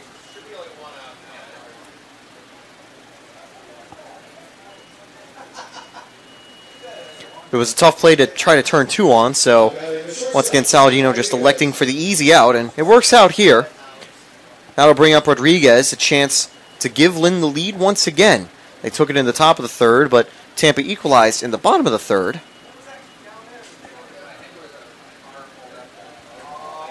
Tried to bunt. I wonder if he was actually looking for the squeeze play there, or just maybe trying to get the Spartans into making a fielding mistake. Certainly be intrigued if we do see the squeeze here. La Montagne running home. And they were trying it. Strike one as it misses. Earhart's going to run in. Nunez has got to be ready. And so does Gutcher. And so does White.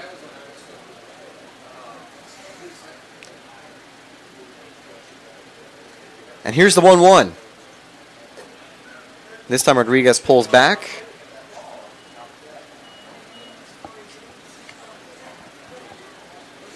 Now, with one out, an empty base would be a little easier to try a squeeze bunt or something, or would be a little easier to counter a squeeze bunt or a similar play for the Spartans. As this one's going to be driven to center field, Cadenas tracking back. Caught in right by Cumbo. The throw in, not in time. So actually, it looked like it was going Cadenas, but actually was more shallow in right field. But it's not going to be close enough play, despite a good throw from Cumbo. La Montagne scores, and it's a 2 1 Fighting Knights lead. That'll bring up Pedro Martinez.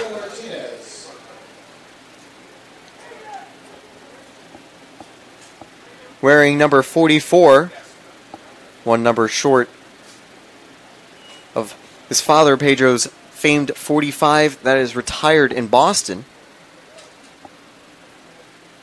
He's going to take this first pitch for strike one.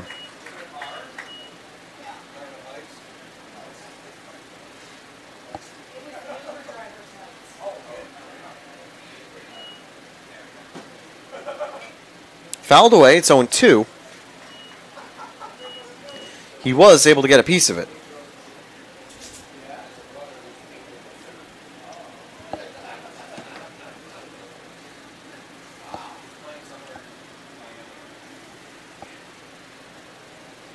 Mrs. Lowe, ball one.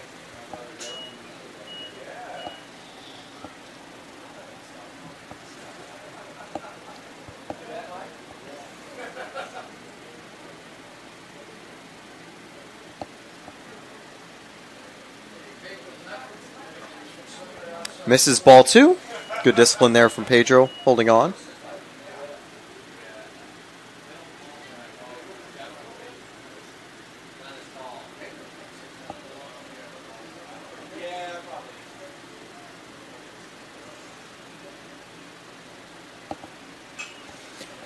Foul back, and so we'll stay at two and two.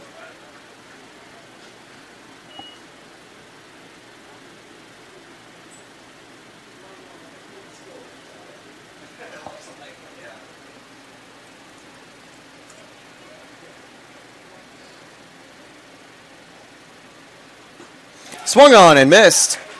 And while the run comes home, White is able to get out of the inning.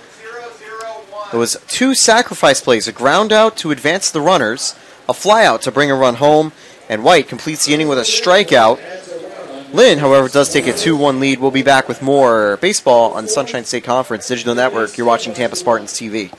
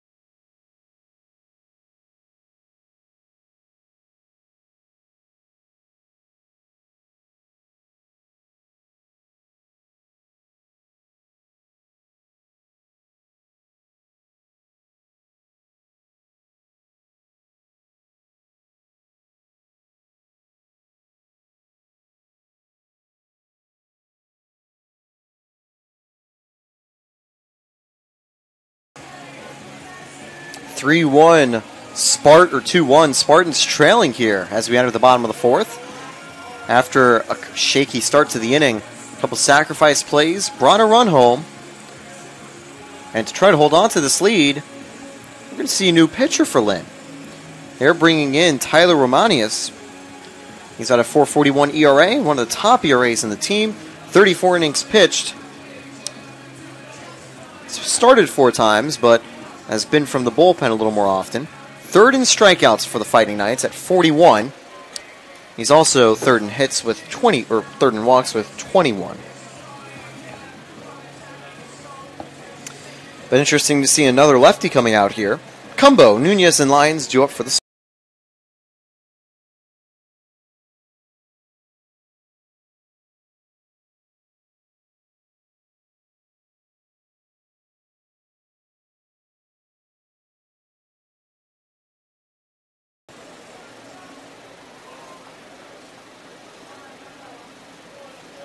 Leading off the 14 for Tampa is the right fielder, E.J. Cumbo. Cumbo leading off. And by the way, just a quick note for other Spartan sports. Congratulations to Tampa softball team. They have their, had their first 41 season in program history. It also sets the brand new record for Spartans wins in a regular season at 40, breaking a previous record of 39. They'd had 39 back in 2011. As Cumbo fouls his first pitch for ball one, or strike one. You don't foul for a ball.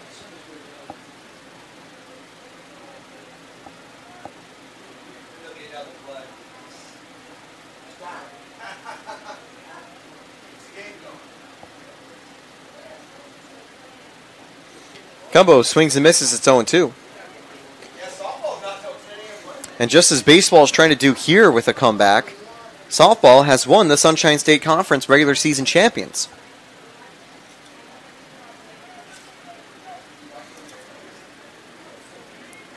They'll certainly be hosting the regionals as well. And Cumbo swings and misses. Not having the greatest start to the night, he's struck out on six pitches in his first two at bats. He's 0 for 2 now. That'll bring up Nunez, who's 0 for 1. And batting third baseman, Anthony Nunez. He had runners in a dangerous spot, but grounded out to second.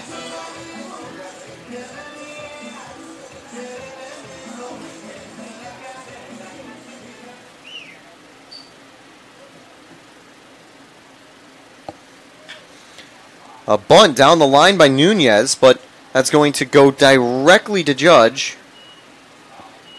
And actually, we'll call it foul, so that will actually save Nunez from the second out of the inning there.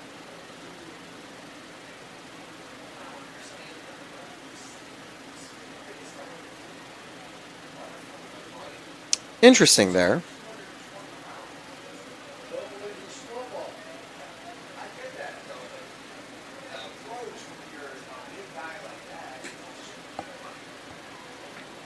Pitch is taken for ball one.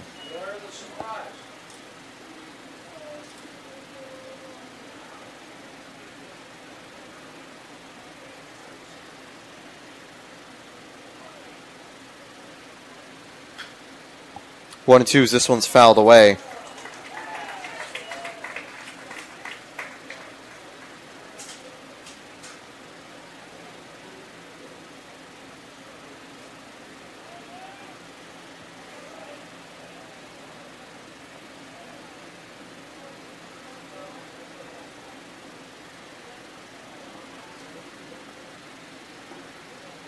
Misses low for ball two.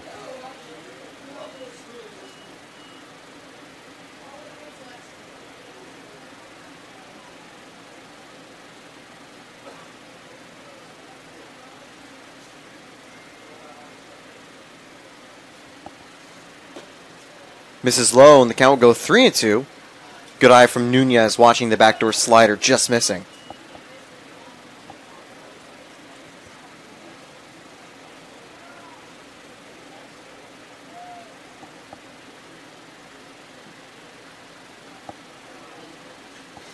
Fouled away, and we'll go again.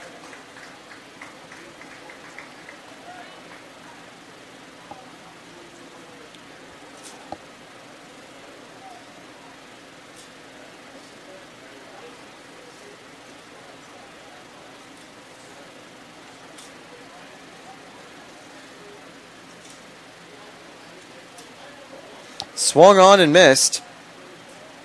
And Okamura. No, actually was fouled away.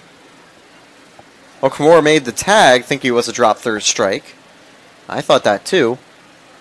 The umpire and Nunez knew it wasn't. And so we'll go one more time. On deck after Nunez is Lyons. This time he misses. Okamura, the throw was nearly wild the first, but Judge had enough room to make the grab. Two away now. Second strikeout from Romanias coming out of the bullpen.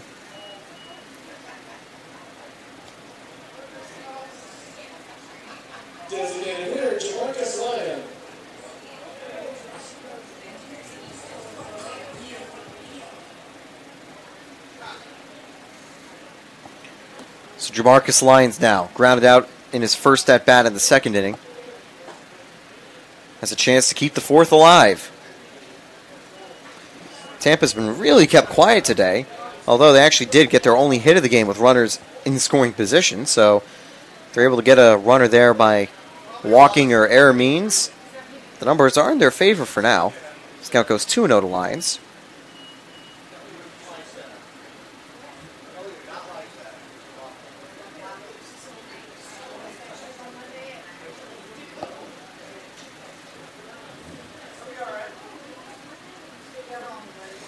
Swung on and missed. Two and one.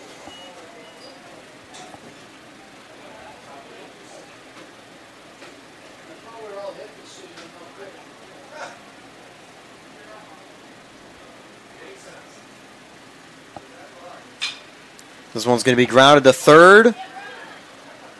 The throw in time by La Montagne, and that'll end the inning. Spartans kept quiet. A 1 2 3 start for Romanias from the bullpen. And Lynn holds on to the lead. First time they've actually exited an inning in the lead of the day. And we'll be back with more Spartans baseball on Tampa Spartans TV.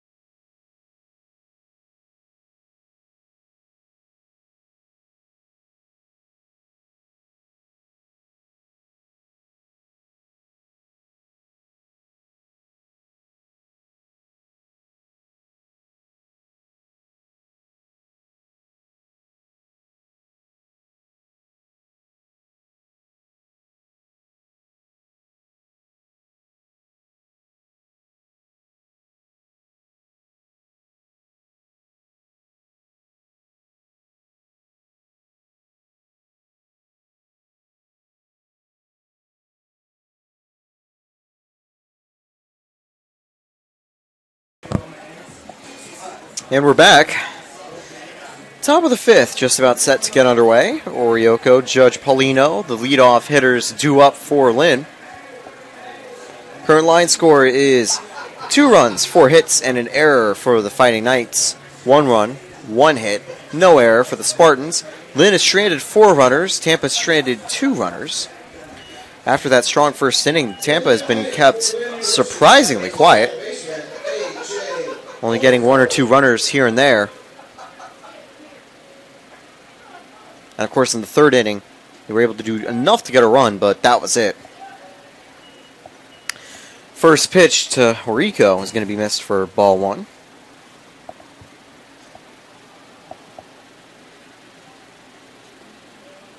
Ball two, just down low.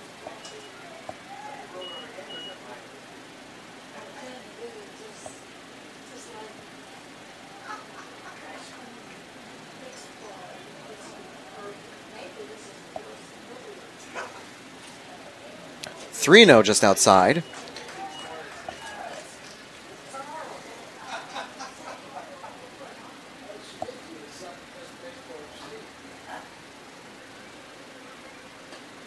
And ball four. A leadoff walk. And Rico, this time waiting until the call was made to head over the first.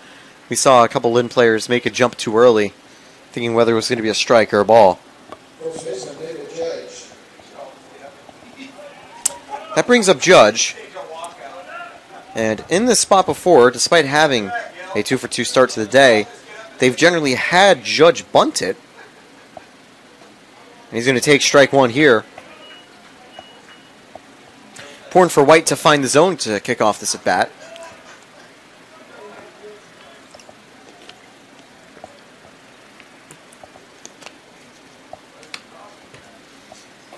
Swung on and missed. 0 2.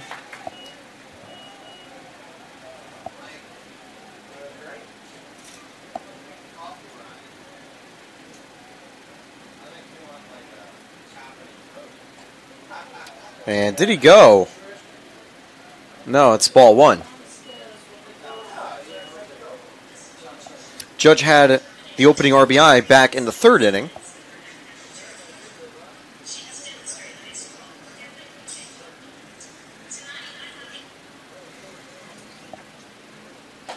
Swung on and missed. White with a fastball to get his second strikeout of the game and get the first out of the inning. Paulino steps up, and now White does have a double play opportunity on the board. That could mean Urso changes up how he runs the shift a little bit. Because obviously he's going to want to have someone still very close to second in case there is a grounder. White steps off.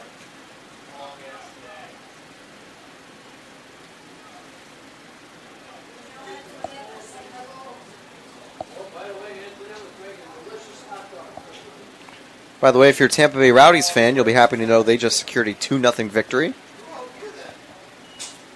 Count goes 1 0 as this one misses a pie to Paulino.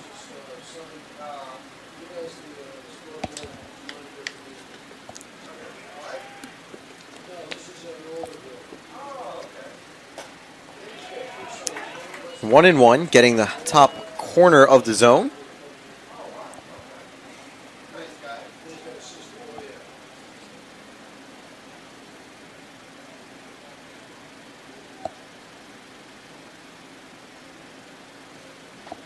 Swung on and missed. Now go to a 1 2. Jack was leaning over to see maybe if the infield was going to shift, like Urso sometimes likes to do. But here, going to just stay at the double play depth for now. Runner goes. Throw from Gutcher. And the runner is out by a mile. Good play there by Urso to make the tag. And a celebratory backhanded flip over to Saladino. Good job there by Gutcher to get the throw. Count goes 1 and 2 as this one did miss for a ball.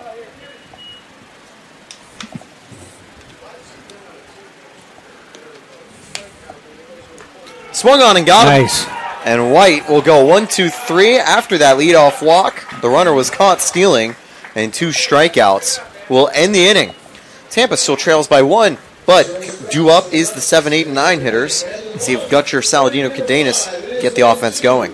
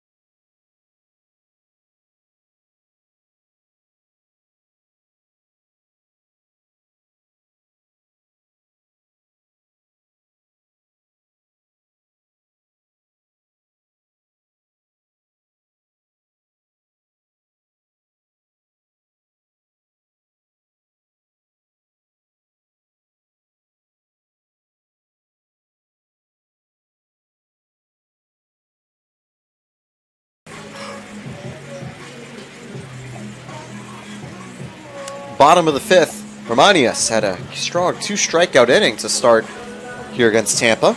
Lynn holds on to a 2 1 lead. Bottom of the order due up for the Spartans. And Danny Gutcher is going to lead off. He flew out last time and in the previous inning made a very good throw to second.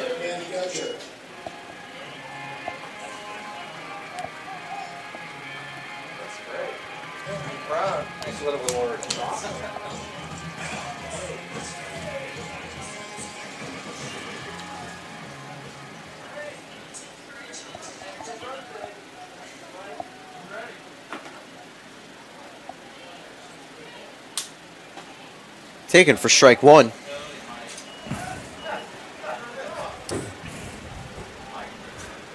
But yeah, the Spartans just kept quiet on the base path so far. Certainly with their hitting prowess, it's bound to change, but then they're going to hope that it'll be a statistical anomaly tonight. they wouldn't mind playing spoiler to the Spartans' conference title race.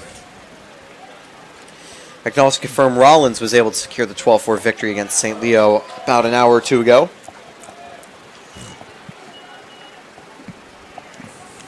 Their doubleheader started an hour earlier and got the hour Had no rain delay. from the no rain delay.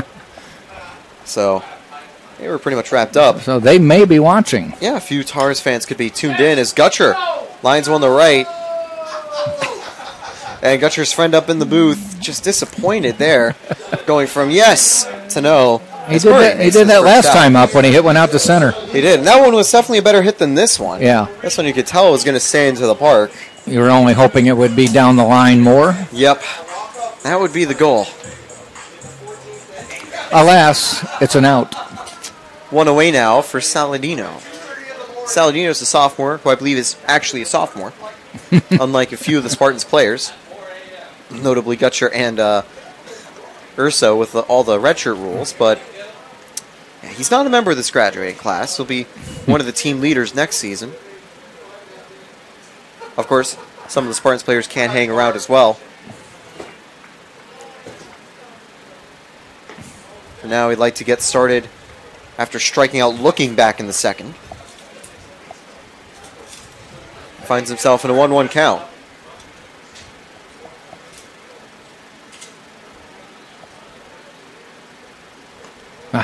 Check swing. Did he go? Yes. Yes, he did. That's the call over at first base by Wirt. And I'm inclined to agree with him. It looked like he did just go around.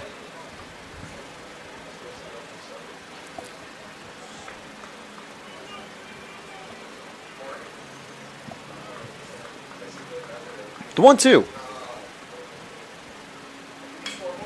Chopped over to first.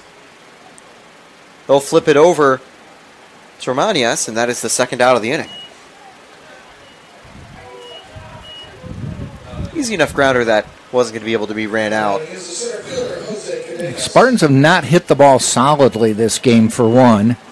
And it's it's not a case of they're hitting it hard, but they're, they're they're making plays on it. They're just they haven't hit it hard. I mean, they have one hit, Yeah, just weak contact overall. routine ground outs. They got to snap out of it. They got to find something. That's the big thing. See if Cadenas can be that spark plug as he's going to uh, take a strike start the at bat.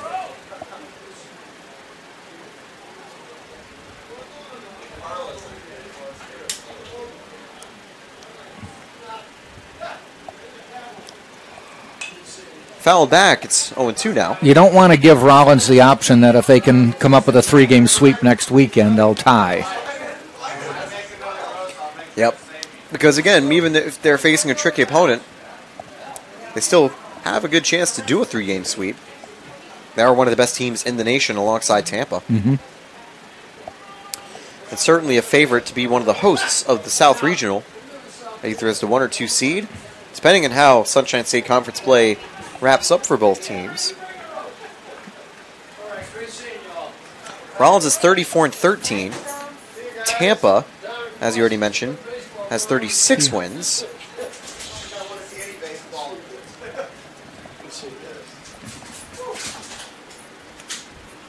This one misses very far inside. I think they said it hit him. Ooh, did it? Must have just yeah. The Yeah. umpire pointed down. So Tampa will take a base runner. I think Cadenas certainly won't mind that. Gets you to the top of the order. Got speed on the base. Might be two outs, but something to go on. Better late than never, I'll tell you that. And Romanius had quickly had six straight outs, or, or five straight outs, but won't get the sixth here.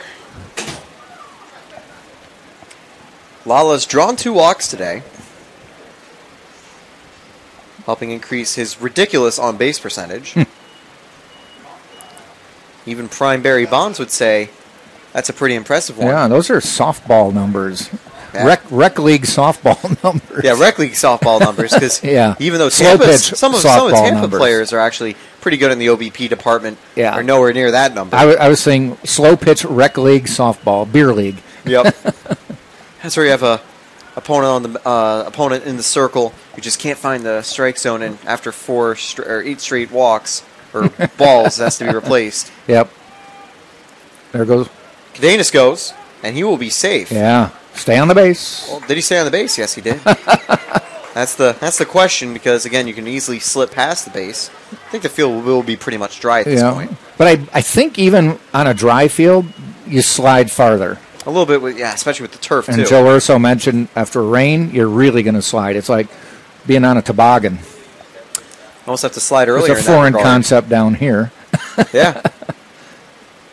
That's something more for people up north like myself. I know that. Yeah, you know that. You know about sledding. You know about uh, slippery things. Now a base hit ties the game. I would think. Lala's up 3 1, and we could see Romanius knowing this and maybe being a little careful. Maybe testing, look to test his luck against Earhart. Locked him. That is ball four. Make it three walks to, today for Jordan Lala. that is going to be 42 in the season for him. Great stuff from the recent graduatee. And there will be a quick conference between Romanius and Okamura. So, Drew Earhart can be the hero here. Actually, not a hero if you're tying it, but uh, Yeah. He is a clutch hitter. can be a- the yeah can be the big hitter. had a fielder's choice and later scored. That was the one run the Spartans had in the game. Yeah, And now he has a chance to drive it in.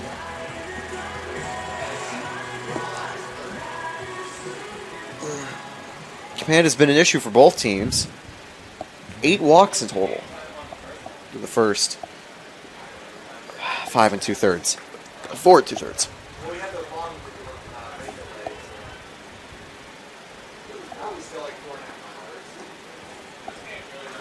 Make him throw a strike at this point. I mean, that's always the plan. Just get him to throw into the strike zone. If JD Urso on deck too, because, well, it's that part of the order. Yeah. But the big thing is, is yeah, take until a strike. If he's not throwing a strike, gonna bring up the team's best, I think, power hitter in that regard. He does the most to get the ball off the bat. And this time he'll get a strike just inside with a fastball. One and one.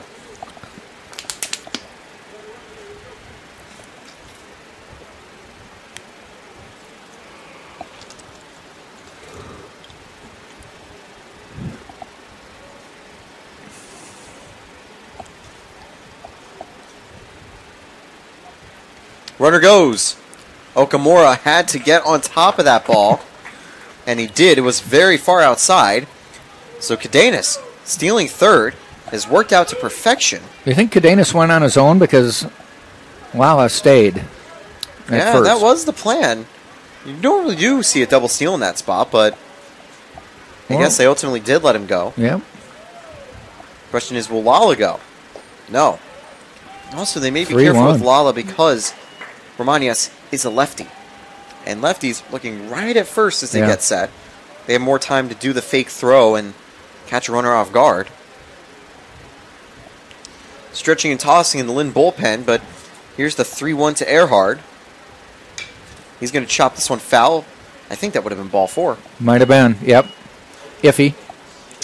Full count, tying run, just 90 feet from home and ready to go.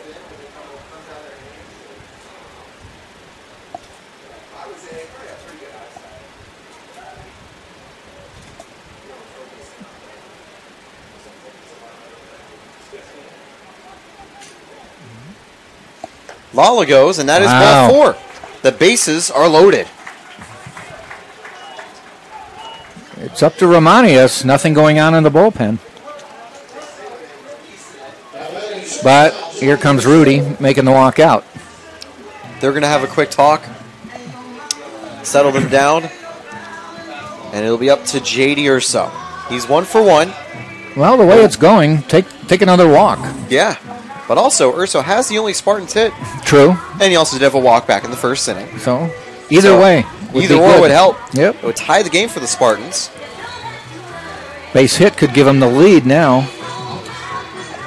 And also, you see a righty warming up. If they make that change, it could give Cumbo an opposite handed matchup, something I think he might like right now.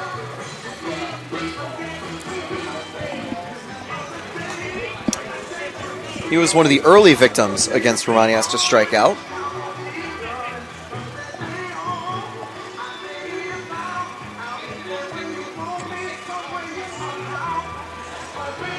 Get an extended version of Urso's walk-up song, "Ain't No Mountain High" right now.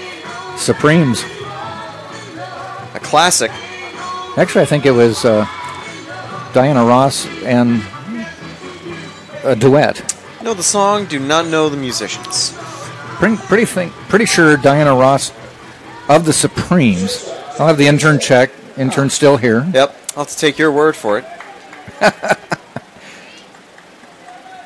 Am Bases the king of this. are loaded for Urso. He can actually overtake Cumbo in terms of RBIs in the season here. But obviously, getting a victory would be more important for him than chasing a fictional RBI crown that we keep, uh, well, I keep making up. Okay, by the way, I was wrong. You're wrong. Marvin Gaye and Tammy Terrell. Ah, all right. It was a duet. I was right. Tammy Terrell So sounding right. a lot like Diana Ross. Maybe a third right because you got the duet part right, but Yes. both musicians wrong. So one for three. One for three, unlike any of the Spartans hitters so far. Right now, yeah. Urso up 2 0. Cadenas back safe at third. Good idea there from Okamura because Cadenas wasn't exactly back. He did a quick throw that was picked up by La Montagne. All right, 2-0, you don't you do not even swing at this. Yes. You're waiting until he throws your strike. Yes. You don't need to swing. That's, I think, the big thing Urso needs to know.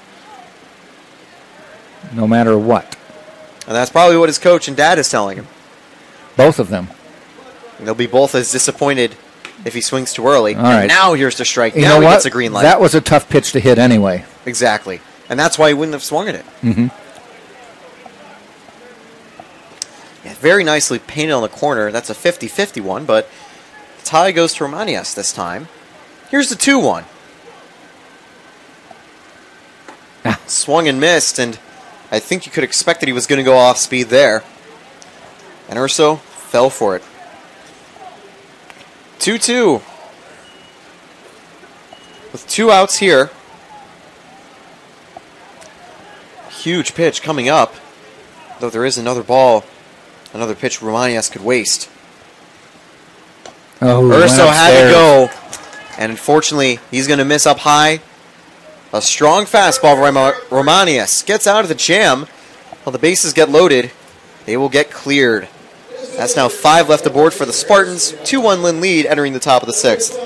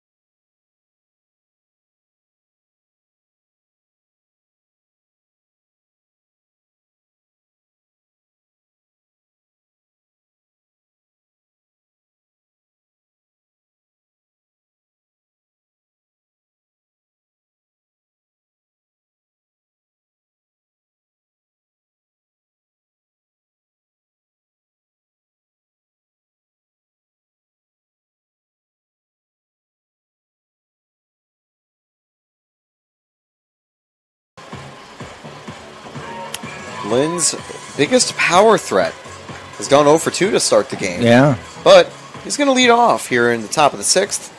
Lynn holds on to a 2 1 lead. Just ever so close. Spartans have had multiple chances, as you mentioned. Three base runners with no hits, and they haven't been able to do anything.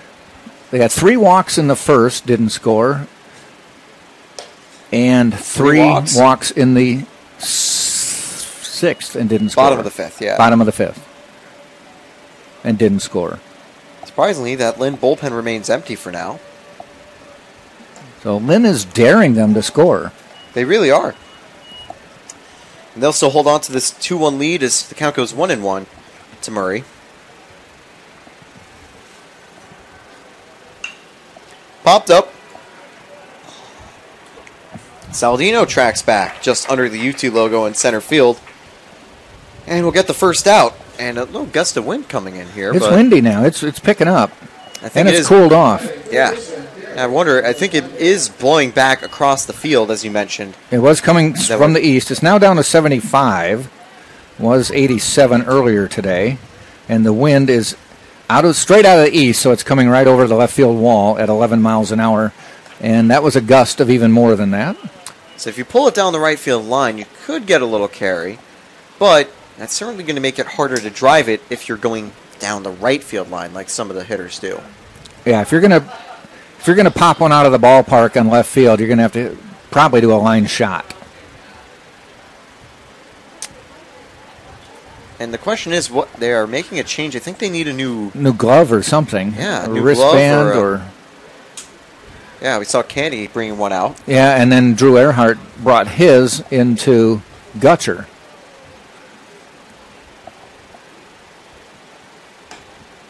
Taken for strike two. So interesting to see. And, well, bases are empty. And now we see the Spartans yep. shifting once again. Nunez playing as the 56 at short. Uh, Urso now playing at a semi second base. They do this for La, Montan- La Montagne Mm-hmm. and Doherty. really aggressive against the lefties. Lefties, yes. And that did hurt them earlier in the game, I believe. As Orico, who they had maybe a similar. No, I was thinking wrong. As this one's going to be grounded straight into that shift. Although the player has to run the first base Nice is White. play by White. Nice job for him. That's a tough play, especially with a slow roller, because you're taught to come off the mound and don't head straight for first. You're find a spot about 10, 15 feet on the baseline in front of the bag, get to that, and then run up the baseline. Because if you come straight for the bag, you're going to collide with the runner because you have to go across the bag. Right. and it's all, even tougher to get the to see the throw from that angle. So you want to get aligned with the throw. But yeah, he had to go to the bag because that was the only way he was going to beat the runner on that slow, Yeah. slow grounder. Ripped right Nice. to Earhart, and that'll end the inning. White goes one, two, three with a pop up and two quick ground outs. Mm-hmm. He's doing good on the mound. That's Yeah. his third inning with just one walk allowed, three strikeouts. Although he allowed a run that was graded for the other pitcher because of some good sacrifice hitting from Yes. Lynn. But still, White doing a solid job as we're going to enter the bottom of the sixth now.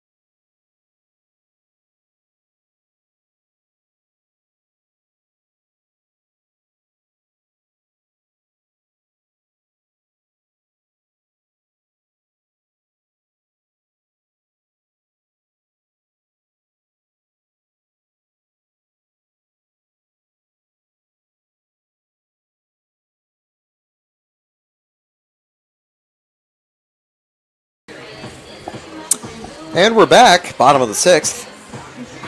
And last season, after the spring semester ended, my family and I went down to Miami for the inaugural Miami Grand Prix for Formula One. Okay. That was a fun trip. Sadly, with graduation, can't make it again this year. So it's this weekend? It is this weekend, Okay. and Sergio Perez just recently got pole, and Haas, the American team, had a driver qualify fourth. So that'll be exciting for that race. That'll be on ESPN tomorrow. But for now, you're watching Tampa Spartans TV, and we're about ready and to go. You, you had your own graduation this morning, and you are going to your brother's graduation tomorrow. Yes. so two back to back. He had to sit through my graduation. I'm going to have to sit through his. Okay, so you got to return the favor. Yeah, and obviously it's not. We're excited to see each other graduate. uh, and leading off is going to be EJ Cumbo facing off against Romanias. He gets a green light to continue after a somewhat shaky fifth inning. He got out of the jam, and obviously they're going to like that lefty-lefty matchup that has really been the Cumbo kryptonite today. Yeah. I mean, throughout the season, Cumbo hasn't been too fazed.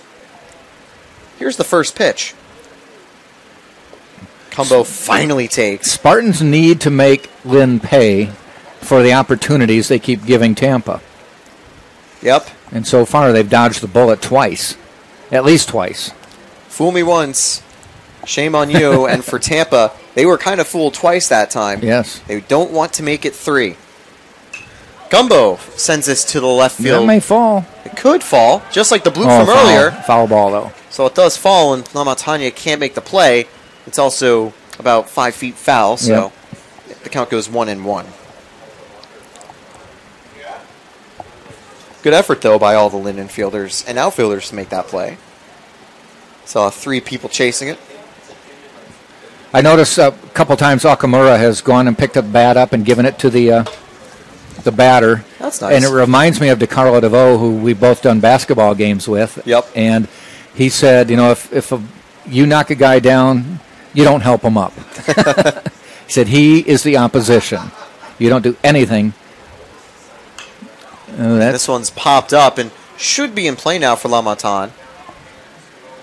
And Oh, dropped it. drops it. yeah, That was going to be an out, yeah. but just slips out of his glove. I don't know if he took his eye off it or. Again, we said there's an 11 mile an hour wind blowing in, and it may have just moved a little bit too far toward home plate. That may New have, life, that may have pay. been. Although I will say it looked more on the glove than that because Yeah, it did pop in out. and then pop out. But certainly the wind makes it a little trickier to track. Yeah. Doesn't set you up perfectly. He almost looked like he looked away just before he caught it, like just making sure of where he was, and that may have hit the wrong part of the mitt and spun out. Cumbo swings and misses Ah, after those you need two to make foul him pay. balls. Yeah. Another mistake. Just Yeah, he's not looked good against lefties. Batter is the third baseman, Anthony Nunez. He looked good to start the at bat, getting some contact, but then just yeah, fooled by that slider.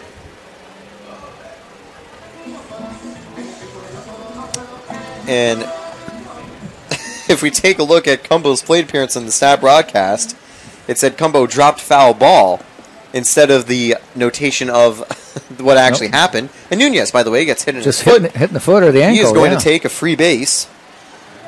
But yeah, funny to see how that uh, was notated on StatBroadcast. like you mentioned before, uh, search up Tampa Live Stats or search up Lynn Live Stats if you're a fan of the Fighting Knights, and you can check out your team's stats live as the game is going on. It's especially useful if, say, Tampa's on the road and broadcast maybe isn't going, because I know mm-hmm. sometimes other teams might have it not broadcast or things like that. It's also useful, say, if you're excited about beach volleyball, because there's no broadcast. I helped out as PA one time for them, but Huh. what you really have to do for that is check in with the live stats or come to the University of Tampa and see it in action. Yeah. Beach volleyball won the small colleges uh, championship again. They'd won the title before. Here's one, and Rodriguez was ready for the throw, but he was about to double clutch it and thought, you know what, I might as well not risk an error. Yeah. And that's actually a smart play because, again, you're in the lead, you're in control. You miss a throw, and Lyons, who just grounded there, would get to second or even further. Again, Tampa just not getting that big hit right now in this game. Gutcher's the player who can do it. He's hit a couple to the outfield, but Better than some nothing to show for it. But yeah, as you've said, there have been a couple groans from the booth. Can he convert? Swung and missed. That's a really good slider that Romanius has had. It's fooled lefties and righties alike. And it's hard for a slider to fool right handed hitters. Mm-hmm. It's easier to tell when something's breaking when it's literally breaking into you.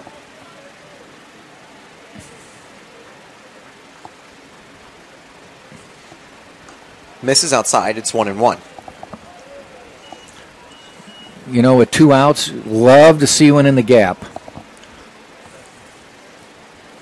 Lyons will be running in anything. Be great if he could be put in play and see if he could try to make it around. There he goes. Well, here he goes. The throw, and he got Dang. him. So just another good throw there by Okamura. Tampa, the small ball not paying out too well, and look, the aggression of the base paths has also not worked. Quickly looking at Lyons, the good news is I think he's more just tying his shoe there Yeah. on the slide. He had an injury in the base path earlier in the season, but good news is he looks all good. Bad news for Spartans fans. Good news for Fighting Knights fans. Lynn leads 2 1. Top of the seventh coming up.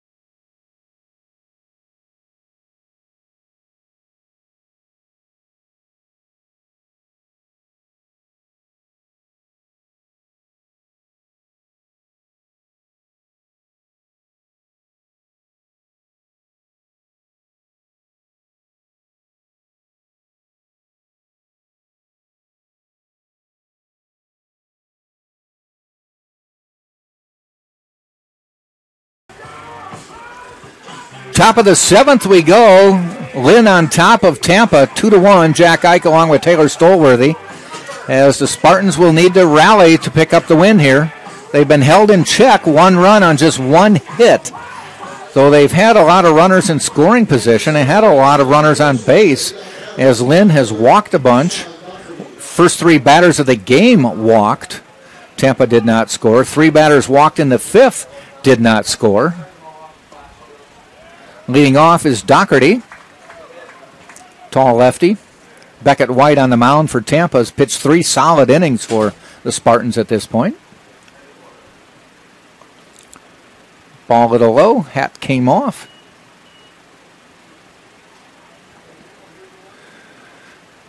The mission is clear, though. A Spartan win, they clinch the Sunshine State Conference Championship.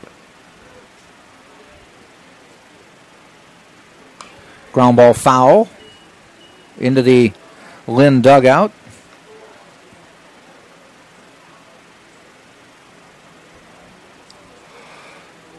There's the shift with two strikes on Doherty. They move three players to the first base side of second and move Anthony Nunez to shortstop. And that one way, way outside.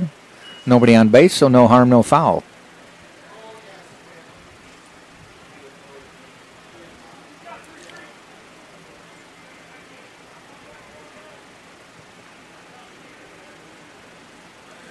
White, 2 2 pitch. Ground ball, Earhart fields it cleanly, makes the play, steps on first. One up, one down.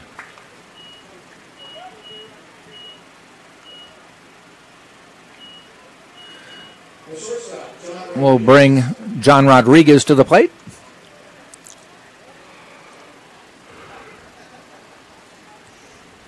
Two at bats today and a couple pop ups, though a sacrifice fly brought in a, the lead run of the game.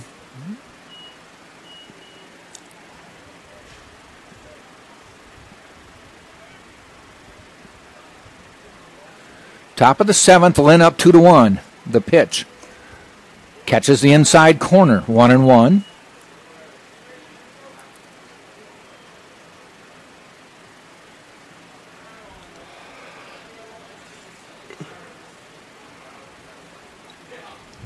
Way inside, did not break enough, or started too far inside and didn't have a chance to get into the strike zone. Two balls, one strike.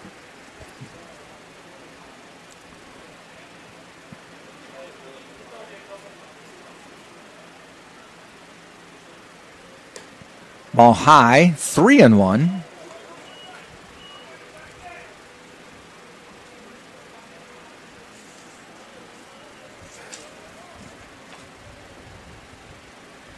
Beckett White, a sophomore from Gulfport, Mississippi. Ripped down the line, but foul. Went to Chipola College here in Florida first before coming to Tampa. Solid athletic program at Chipola.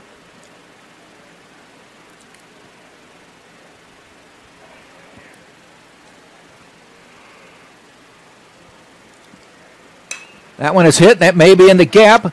Giving chase. Coming over is Lala, and he makes the catch easily. I think the wind held that one up enough that it didn't get into the gap, and Lala tracked it down for the out. As we said, an 11 mile an hour wind coming over the left field wall, gusting at times. Pedro Martinez now to the plate.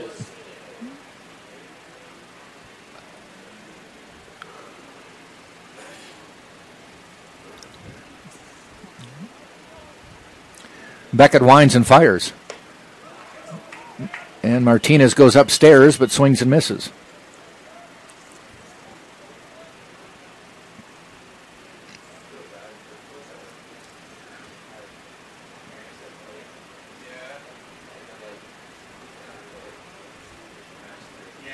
Ground ball.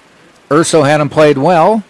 Quick toss to Earhart. We're done with the top of the seventh. No runs, no hits, no errors, nobody left.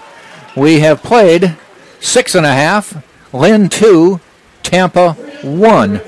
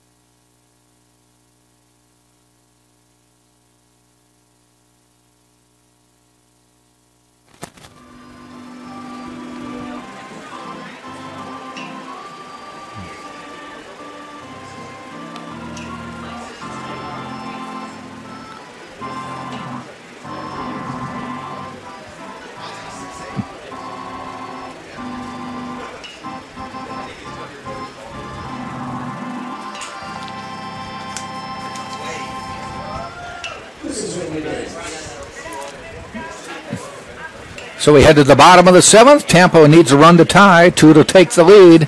Tyler Romanius, though, has held them in check for three solid innings. Walked a couple, struck out four. 50 on the pitch count for three innings.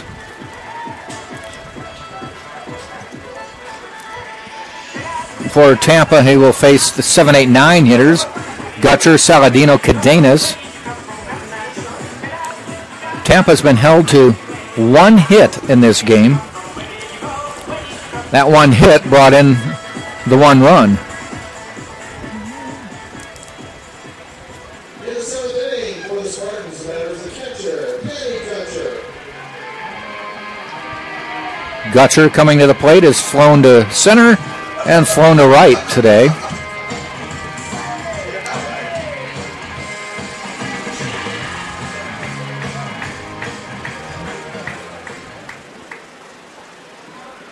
Romanius, nobody on, pitching out of the stretch anyway. Ball outside.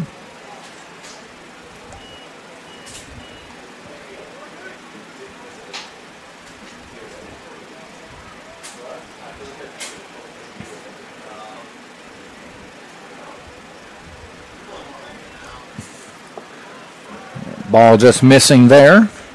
Tampa in this game just one for 16.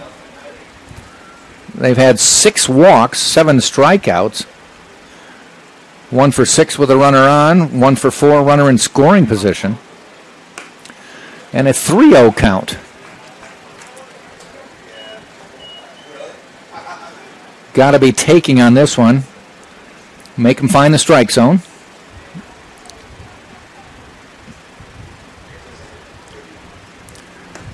He did, and it's 3 1.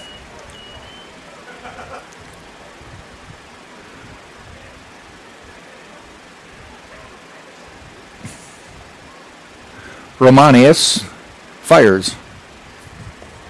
Ball four, another walk for Tampa, leadoff walk.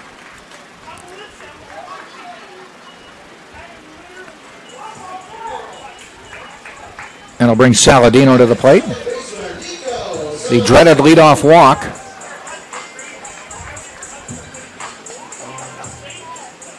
Which is no worse than any other way to get on base to lead off an inning. They, if you get on base to lead off an inning, you tend to score about 33% of the time, one in three. But coaches think the leadoff walk is terrible.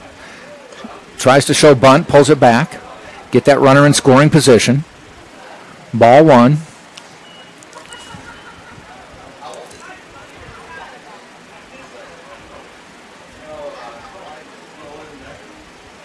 Does Saladino try to put it down again? Yes. Pulls it back. Ball two. So that's six straight balls from Romanius. So with a 2 0 count, you show bunt, but I don't know if you put it down. Make him throw a strike. This time he does.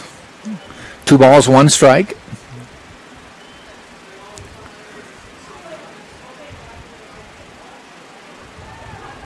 Still might try to get the bunt down here. 2 1. He does. Gets it down, foul. So now it's going to be 2 2. Swinging away now is Saladino.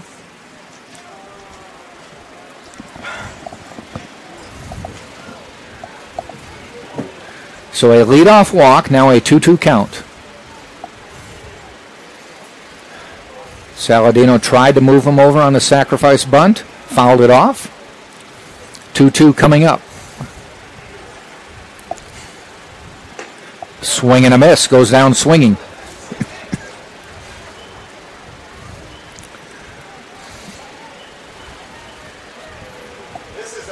Pinch hitter, I think, coming up.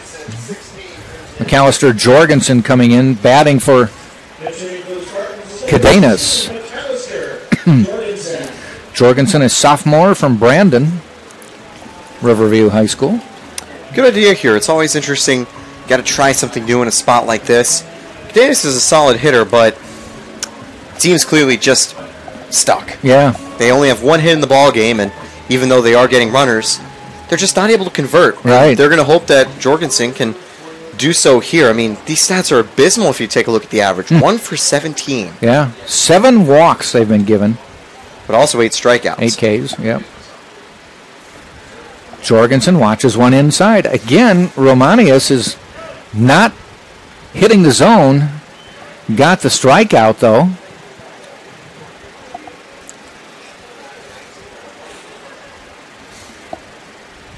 Swing and a miss.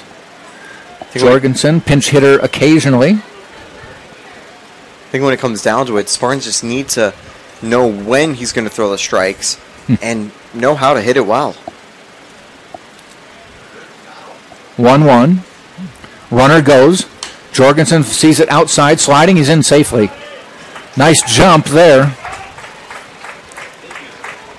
And Gutcher, I don't know if he's really a base stealing threat, but got a great jump. The pitch was outside, forcing Okamura to go get it before he could make the throw. I wouldn't call him a throw on the same level as a Lala or a Cadenas, No. but he has been doing pretty good so far. Okay. He's at eight, and he hasn't been caught. You just don't think of a catcher as a base stealing threat, exactly. I guess. the only real MLB comparison that kind of is a base stealing threat like that is, well, was Jason Kendall. Swing and a miss. Two and two now.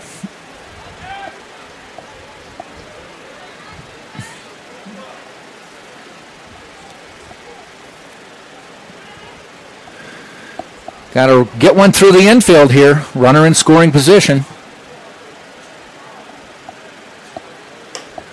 Not this at bat. Jorgensen goes down swinging. We'll go to the top of the order with Lala. One out now. Need a clutch hit. Left fielder Jordan Lala. Here's a clutch hitter. Lala still has the lefty lefty disadvantage, Yeah, but yep. so far he's known how to get on base at the very least to keep the innings alive. And well, he's at three, so three walks today. That's not a safe bet, or it's a somewhat safe bet to make a guess that he may be able to draw another. But obviously, Lala might want to get a hit here to try to you know, score that run. Gutcher's running on anything.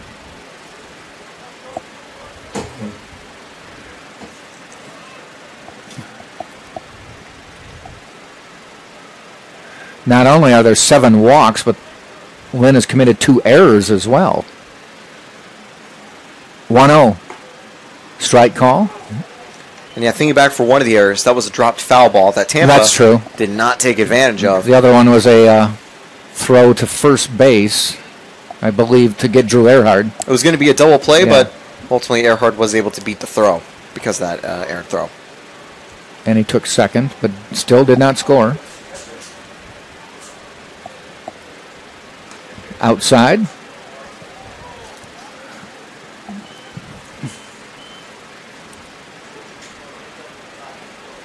Well, you can have someone warming up in the bullpen. I don't think there's a reason to take out Romanius. Tampa just clearly hasn't figured him out. No. Unless he continues to walk the bases full, at some point, you got to make him pay. 2 1. 3 1. I think you take. Maybe not. What does Joe think? It's going to be interesting. And although for Joe, he may just leave it up to Lala, Yeah. give him his experience. And also, if you're Romanius, you're probably throwing a waste pitch. No reason to hang something and risk a hit. You got a free base. Here's the pitch. We'll find out. Strike call. Don't know if it was a great pitch to hit, but it was a strike. Those are always tough as well for lefties to hit. You see Yeah. like a front door slider coming in like that. So it's a full count. Two outs, 3 2 count, man on second. Here's the pitch to Lala. Down the line, it's going to carry foul. Down the left field line, hits the screen and comes down. It's one of the first times Lala's needed to swing today. If he gets on, Drew Earhart is waiting. If he draws that another walk, it would be a reverse golden sombrero. Three two again with two outs. Walked him. Close. Four walks today for Jordan Lala. Now runners at first and second for Drew Earhart. Again, we need the clutch hit.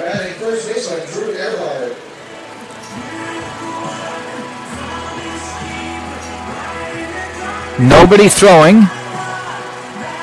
in the Lynn bullpen. Leaving it up to Romanius. He's on 72 pitches, but still looks pretty good with his speed and command. Strike call. And it's certainly not like he's missing the zone because he's lacking control. Mm-hmm. It's just the way he pitches. He's really just aggressive, trying to get those swings and misses. And for the most part, it had worked. Six strikeouts.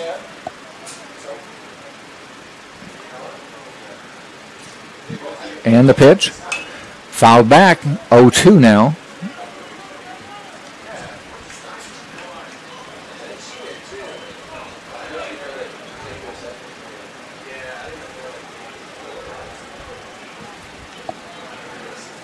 Two strikes, two outs, two on. The pitch to Drew. Fouled off.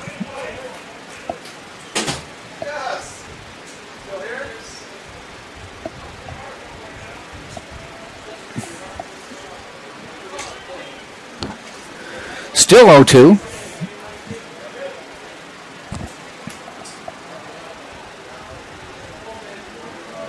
Long look for the, the call. Still looking. Still looking. We're set. 0 2 pitch. Outside.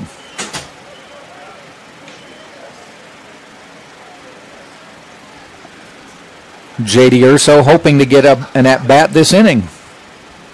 I know he'd love to have the bases loaded or a spot where he could turn a 2 2 deficit into a Yeah. potential lead. 1 2 pitch on the way. Ball too high. And that's just that experience from Earhart, knowing that it was going to be a high fastball and taking. He's reached base just like Lala every single time.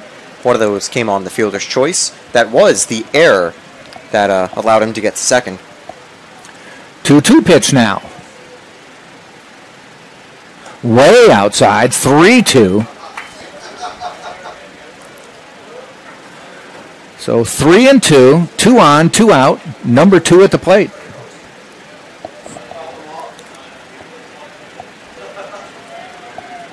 Romanius looks in. 3 2. Runners will run. There they go. And that is ripped. That's going to tie this game. Maybe give them the lead. One hop to the wall. One run is in. Here comes Lala from first, and the Spartans take a 3 2 lead on a double by Drew Earhart. Finally, a clutch hit, and the Spartans take the 3 2 lead. That is ice in Earhart's veins. A cool, calm, and collected line drive to score both runs. And I have to give credit to Romanias. Six strikeouts and three and two thirds of no hit ball Yeah. is ended on that fateful swing.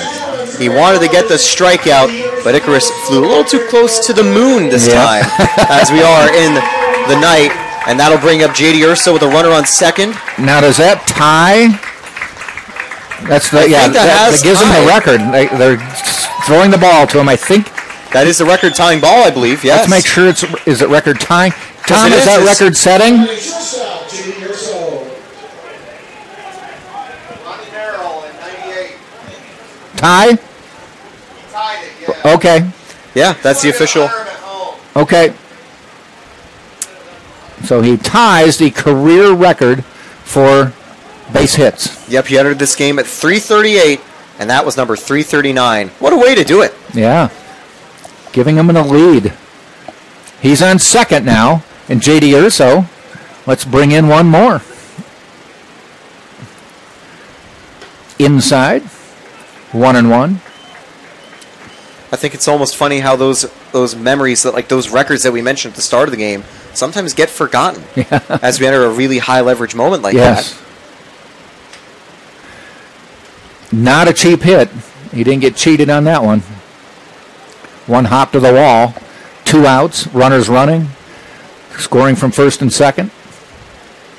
JD, that one bounces. There goes Drew. Heading for third. The throw. He's in. Stay on the base. now he's 90 feet away. Still going to take a hit from JD or a wild pitch.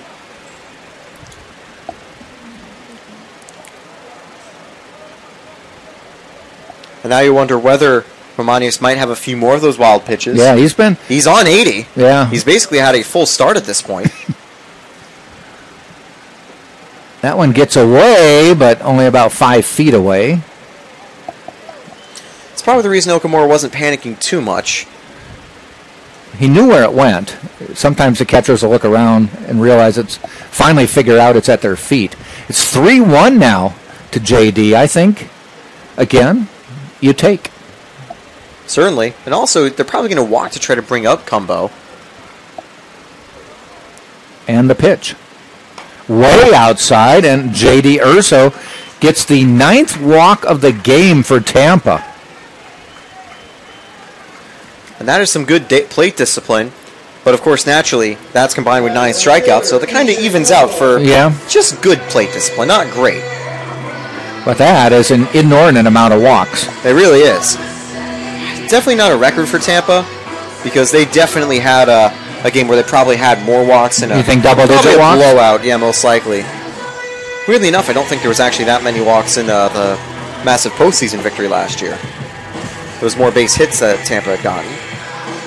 A mound visit by the catcher. Action, two people up in the bullpen now. Looking to see if Rudy's coming out of the dugout. Nothing yet. And they're going to break up the uh, conference. EJ Cumbo.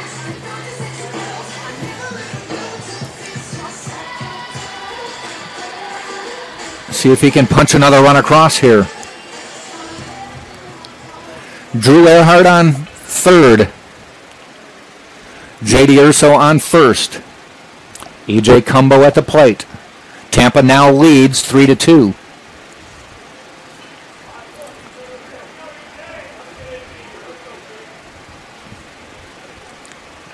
Romanius with a long look.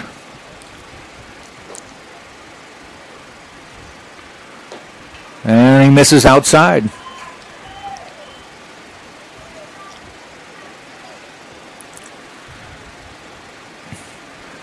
If Romanius does not get Cumbo, maybe his last batter. And I think the reason they still have him in right now is because Cumbo's been really struggling against him. Yeah, and he's lefty lefty. Check swing ball two. Now you you wait. Here comes Rudy. First visit, so doesn't have to pull the pitcher out in this one.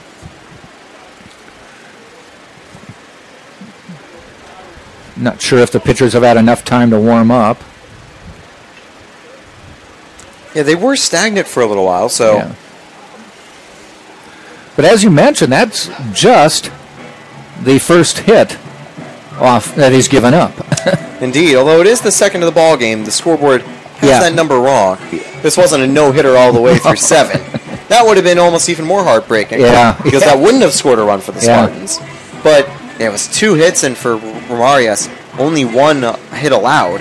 Naturally, the five walks but he's walked five, yeah. kind of damper it a little bit. But again, he also then responds with six And strikeouts. I think he made the call to the bullpen. I think he just signaled. And that probably Yep. would be it. So we are going to have a pitching change. Why don't we take a break? We'll give you the details when we come back. Tampa leads 3 2 here in the Bottom of the seventh. bottom of the seventh. I couldn't have that up fast enough. Right here on TampaSpartans.tv.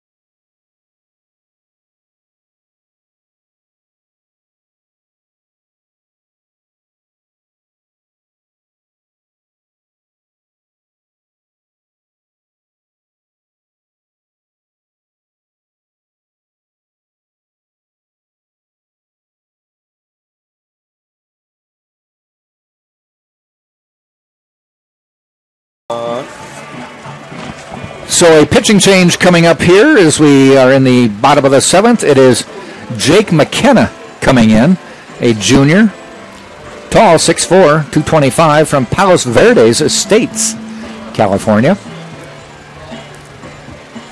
He will try to keep the Spartans' lead down to three to two. Hasn't had a bad season so far. 10 innings, a big crazy stat, 13 runs allowed, three of them earned. Wow, he's not getting field support. Yeah. And that's probably also a reason that he's currently 0 for 3 on his record with just 9 relief appearances. First batter to face will be EJ Cumbo, and actually he will inherit a 2-0 count. They decided to make the change in the middle of the at bat, where I think they probably just had to guess that Romanias was just done. Yeah. He just wasn't able to continue. Now, oftentimes a reliever coming in, though that first couple pitches, they're trying to find the zone. We'll see what happens. Runners at the corners. 2-0 pitch to Cumbo. And he misses 3-0. Found the, it was a good spot, just broke inside. Anthony Nunez waiting on deck, 3-0. Put that bat on your shoulder and just watch the pitch. On the way, Strike call down the middle. So now. I got a green light to swing. Might be, yeah. If it's in the if it's one you like, go ahead, but don't go chasing after anything. 3-1. Fouls it off 3-2.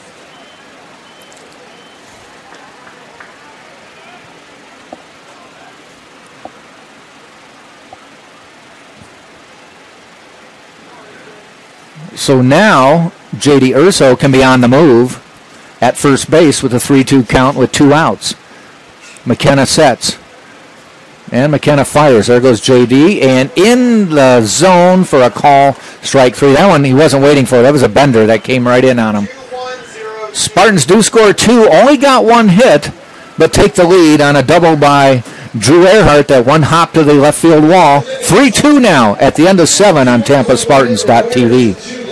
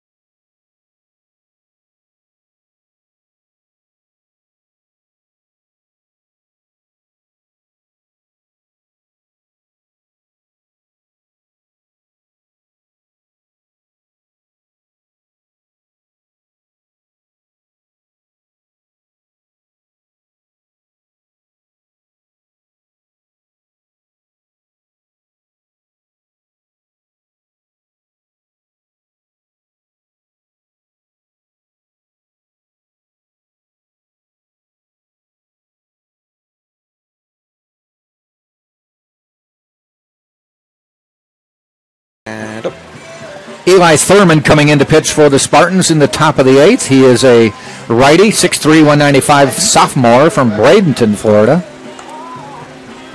And his job, hold on to this 3-2 lead now. Spartans have made a couple other changes. Palma has gone into left field. Jordan Lala will move from left to center. If you remember, Jose Cadenas was pinch hit for by McAllister Jorgensen, necessitating a replacement.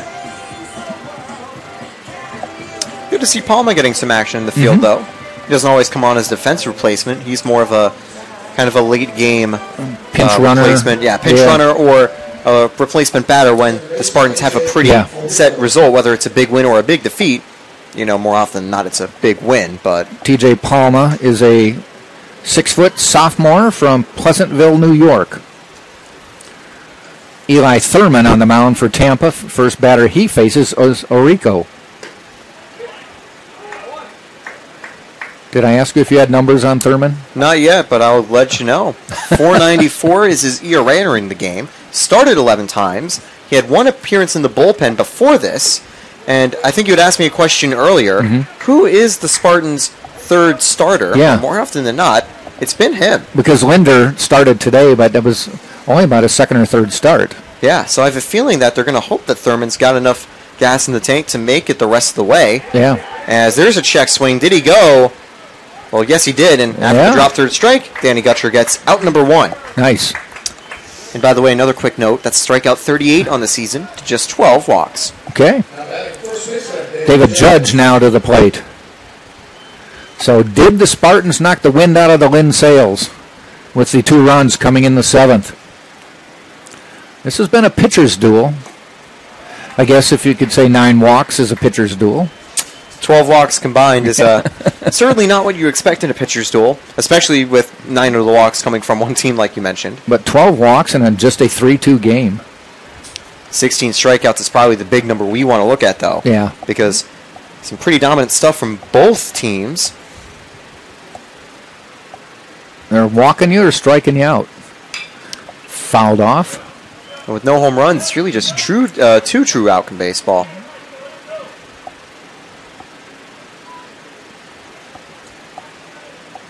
And note as well, Thurman coming in will finish the day for Beckett White. Four innings, three strikeouts, one walk, no hits. He will be, uh, has the decision on his side right now. And will be a very well earned win for him because he carried those middle innings.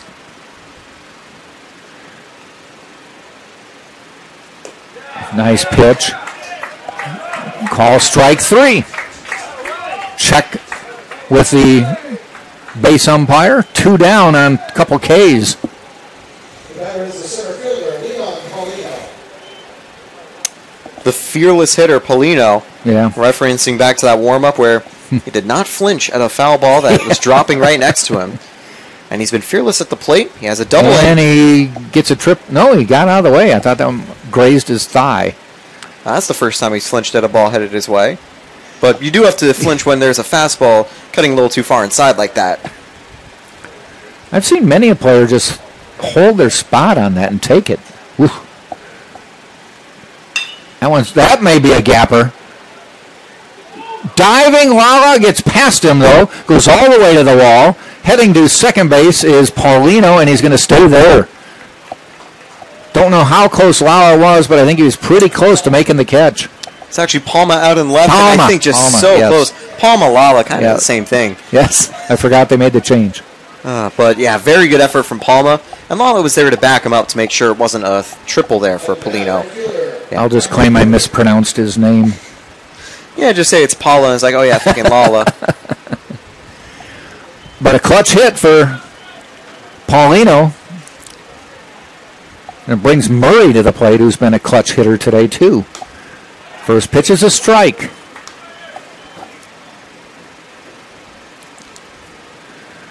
Tying run now on second base with two outs here in the top of the eighth. Thurman got the first two outs on strikeouts.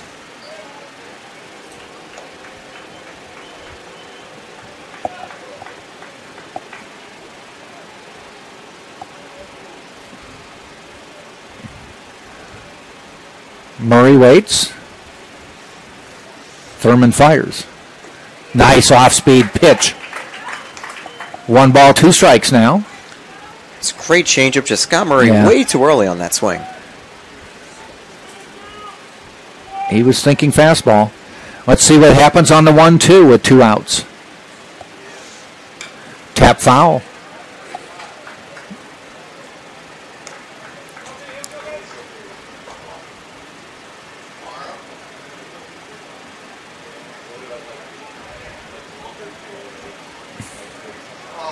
One two again. High. Watch uh, Paulino out at second base. He's the base runner. He goes behind the base. He doesn't take a lead toward third. He's way behind second base. Now he looks to go. Swing and a miss doesn't matter as Thurman strikes out the side after giving up a double. We go to the bottom of the eighth. Tampa holds on to the 3 2 lead right here on TampaSpartans.tv.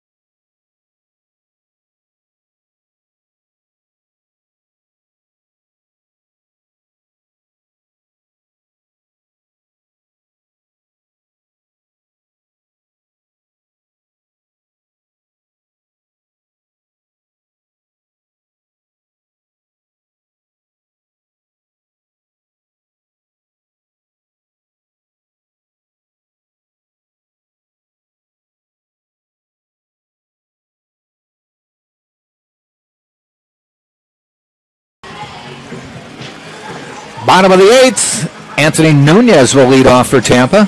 Jake McKenna on the mound for Lynn. Tampa picking up two in the bottom of the seventh. 3 2 lead. It was just what the Spartans needed. Their second hit of the ball game by Drew Earhart. It tied the record and also gave them the lead. him a This is third baseman, Anthony Nunez. Batting lefty.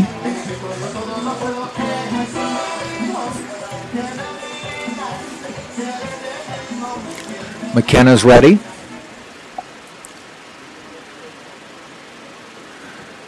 Curveball breaks down and out of the zone.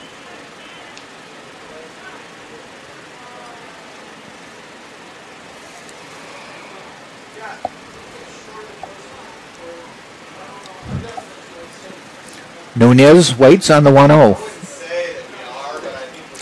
Now it's 1 1. Jamarcus Lyons on deck.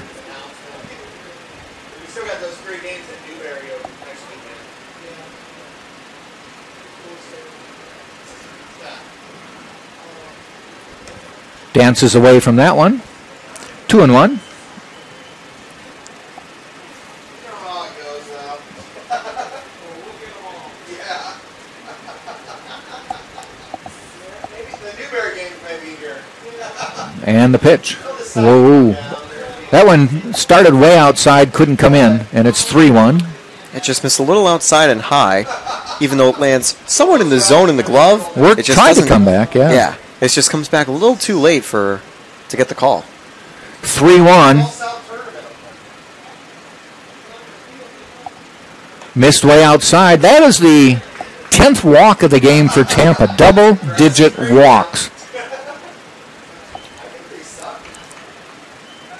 They have two hits, three runs, 10 walks. They also have 10 strikeouts, but It's honestly it's, it's silly. It's incredible to see that they only have two hits, yet they've had like 13 base runners. yeah.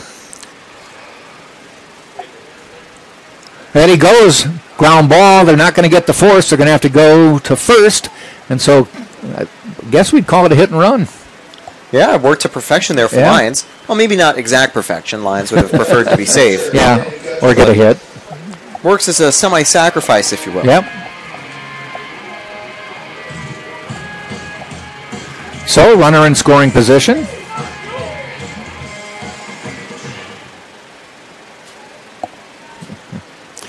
Gutcher at the plate.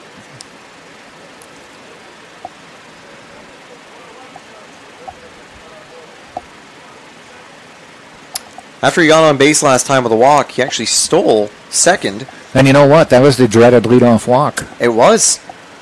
And that's what it is. Although I think Tampa's had a few leadoff walks and has been able to make them pay. But that time it Don't did. bring up details. Ah, no, we need to make it fit the uh, leadoff walk propaganda. That it's always a 66% chance of a run scoring. Yes, even though it isn't.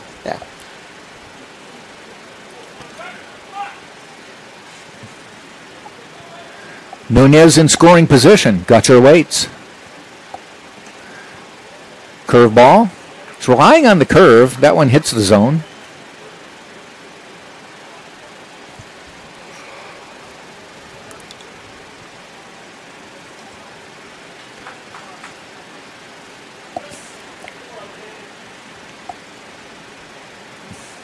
Long look in.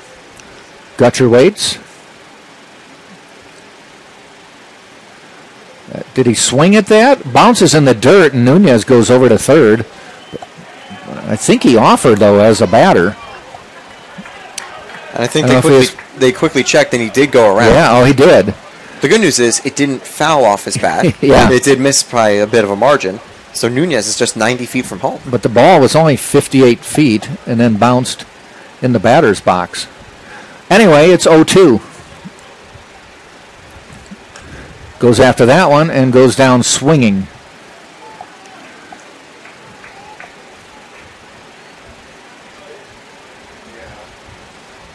Saladino now to the plate. One out, man on third.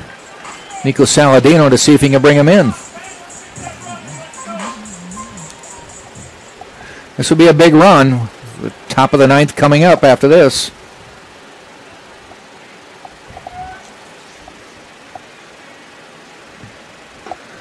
Strike call.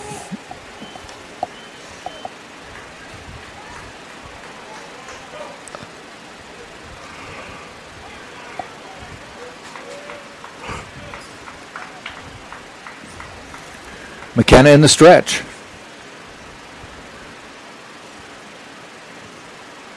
In the dirt.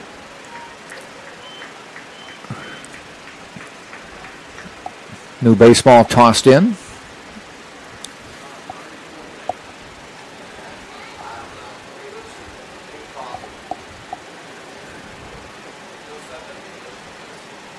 Saladino waits. Nunez on third. The pitch. Fouled off.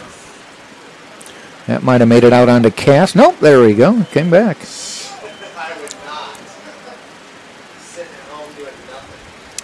All the movers are out, I think, uh, today. So That might have taken somebody out yesterday. yeah, potentially.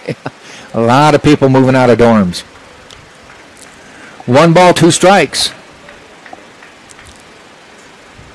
Swing and a miss. Nice pitch. Off speed. Ends the inning. We'll go to the ninth. It is a 3 2 Tampa Spartans lead. Tampa holds on to win. They're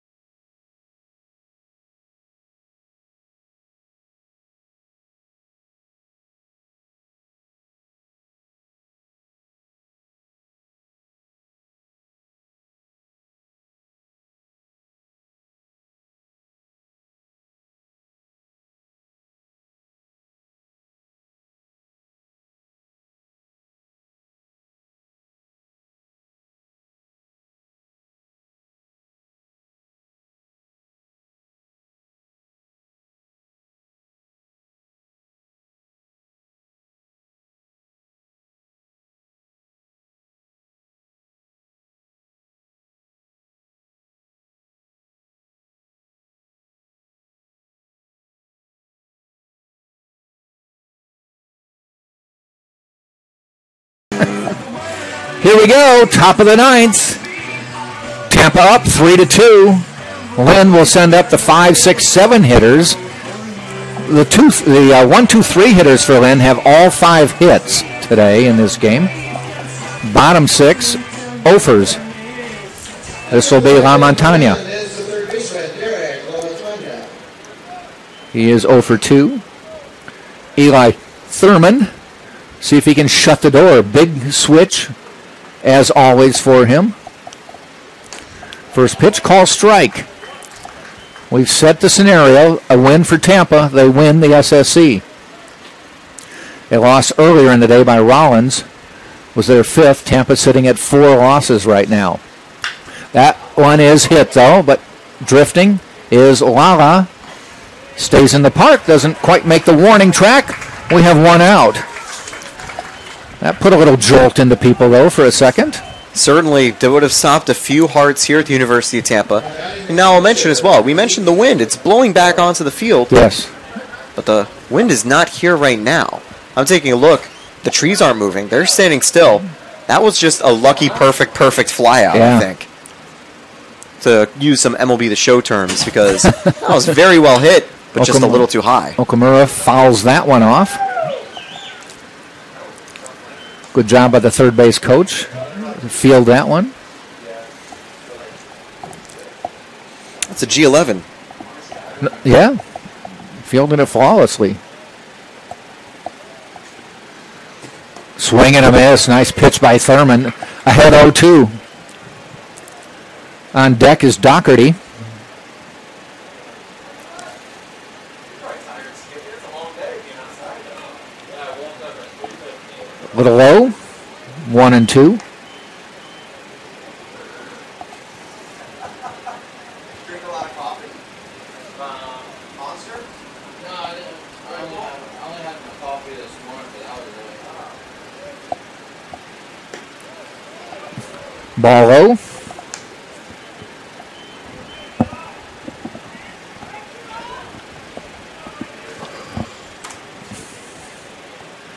Tampa's won the first two games, trying for the three game sweep. The pitch outside, so from 0 2 to 3 2. Mentioned Doherty on deck. He's also 0 for, uh, an 0 for today with 0 for 3. Don't give him any signs of life. 3 2 pitch coming up. Ground ball heading out to JD Urso. Fields it. Strong throw. One hop to Earhart. He makes the play, scooping that one out, and there's two down.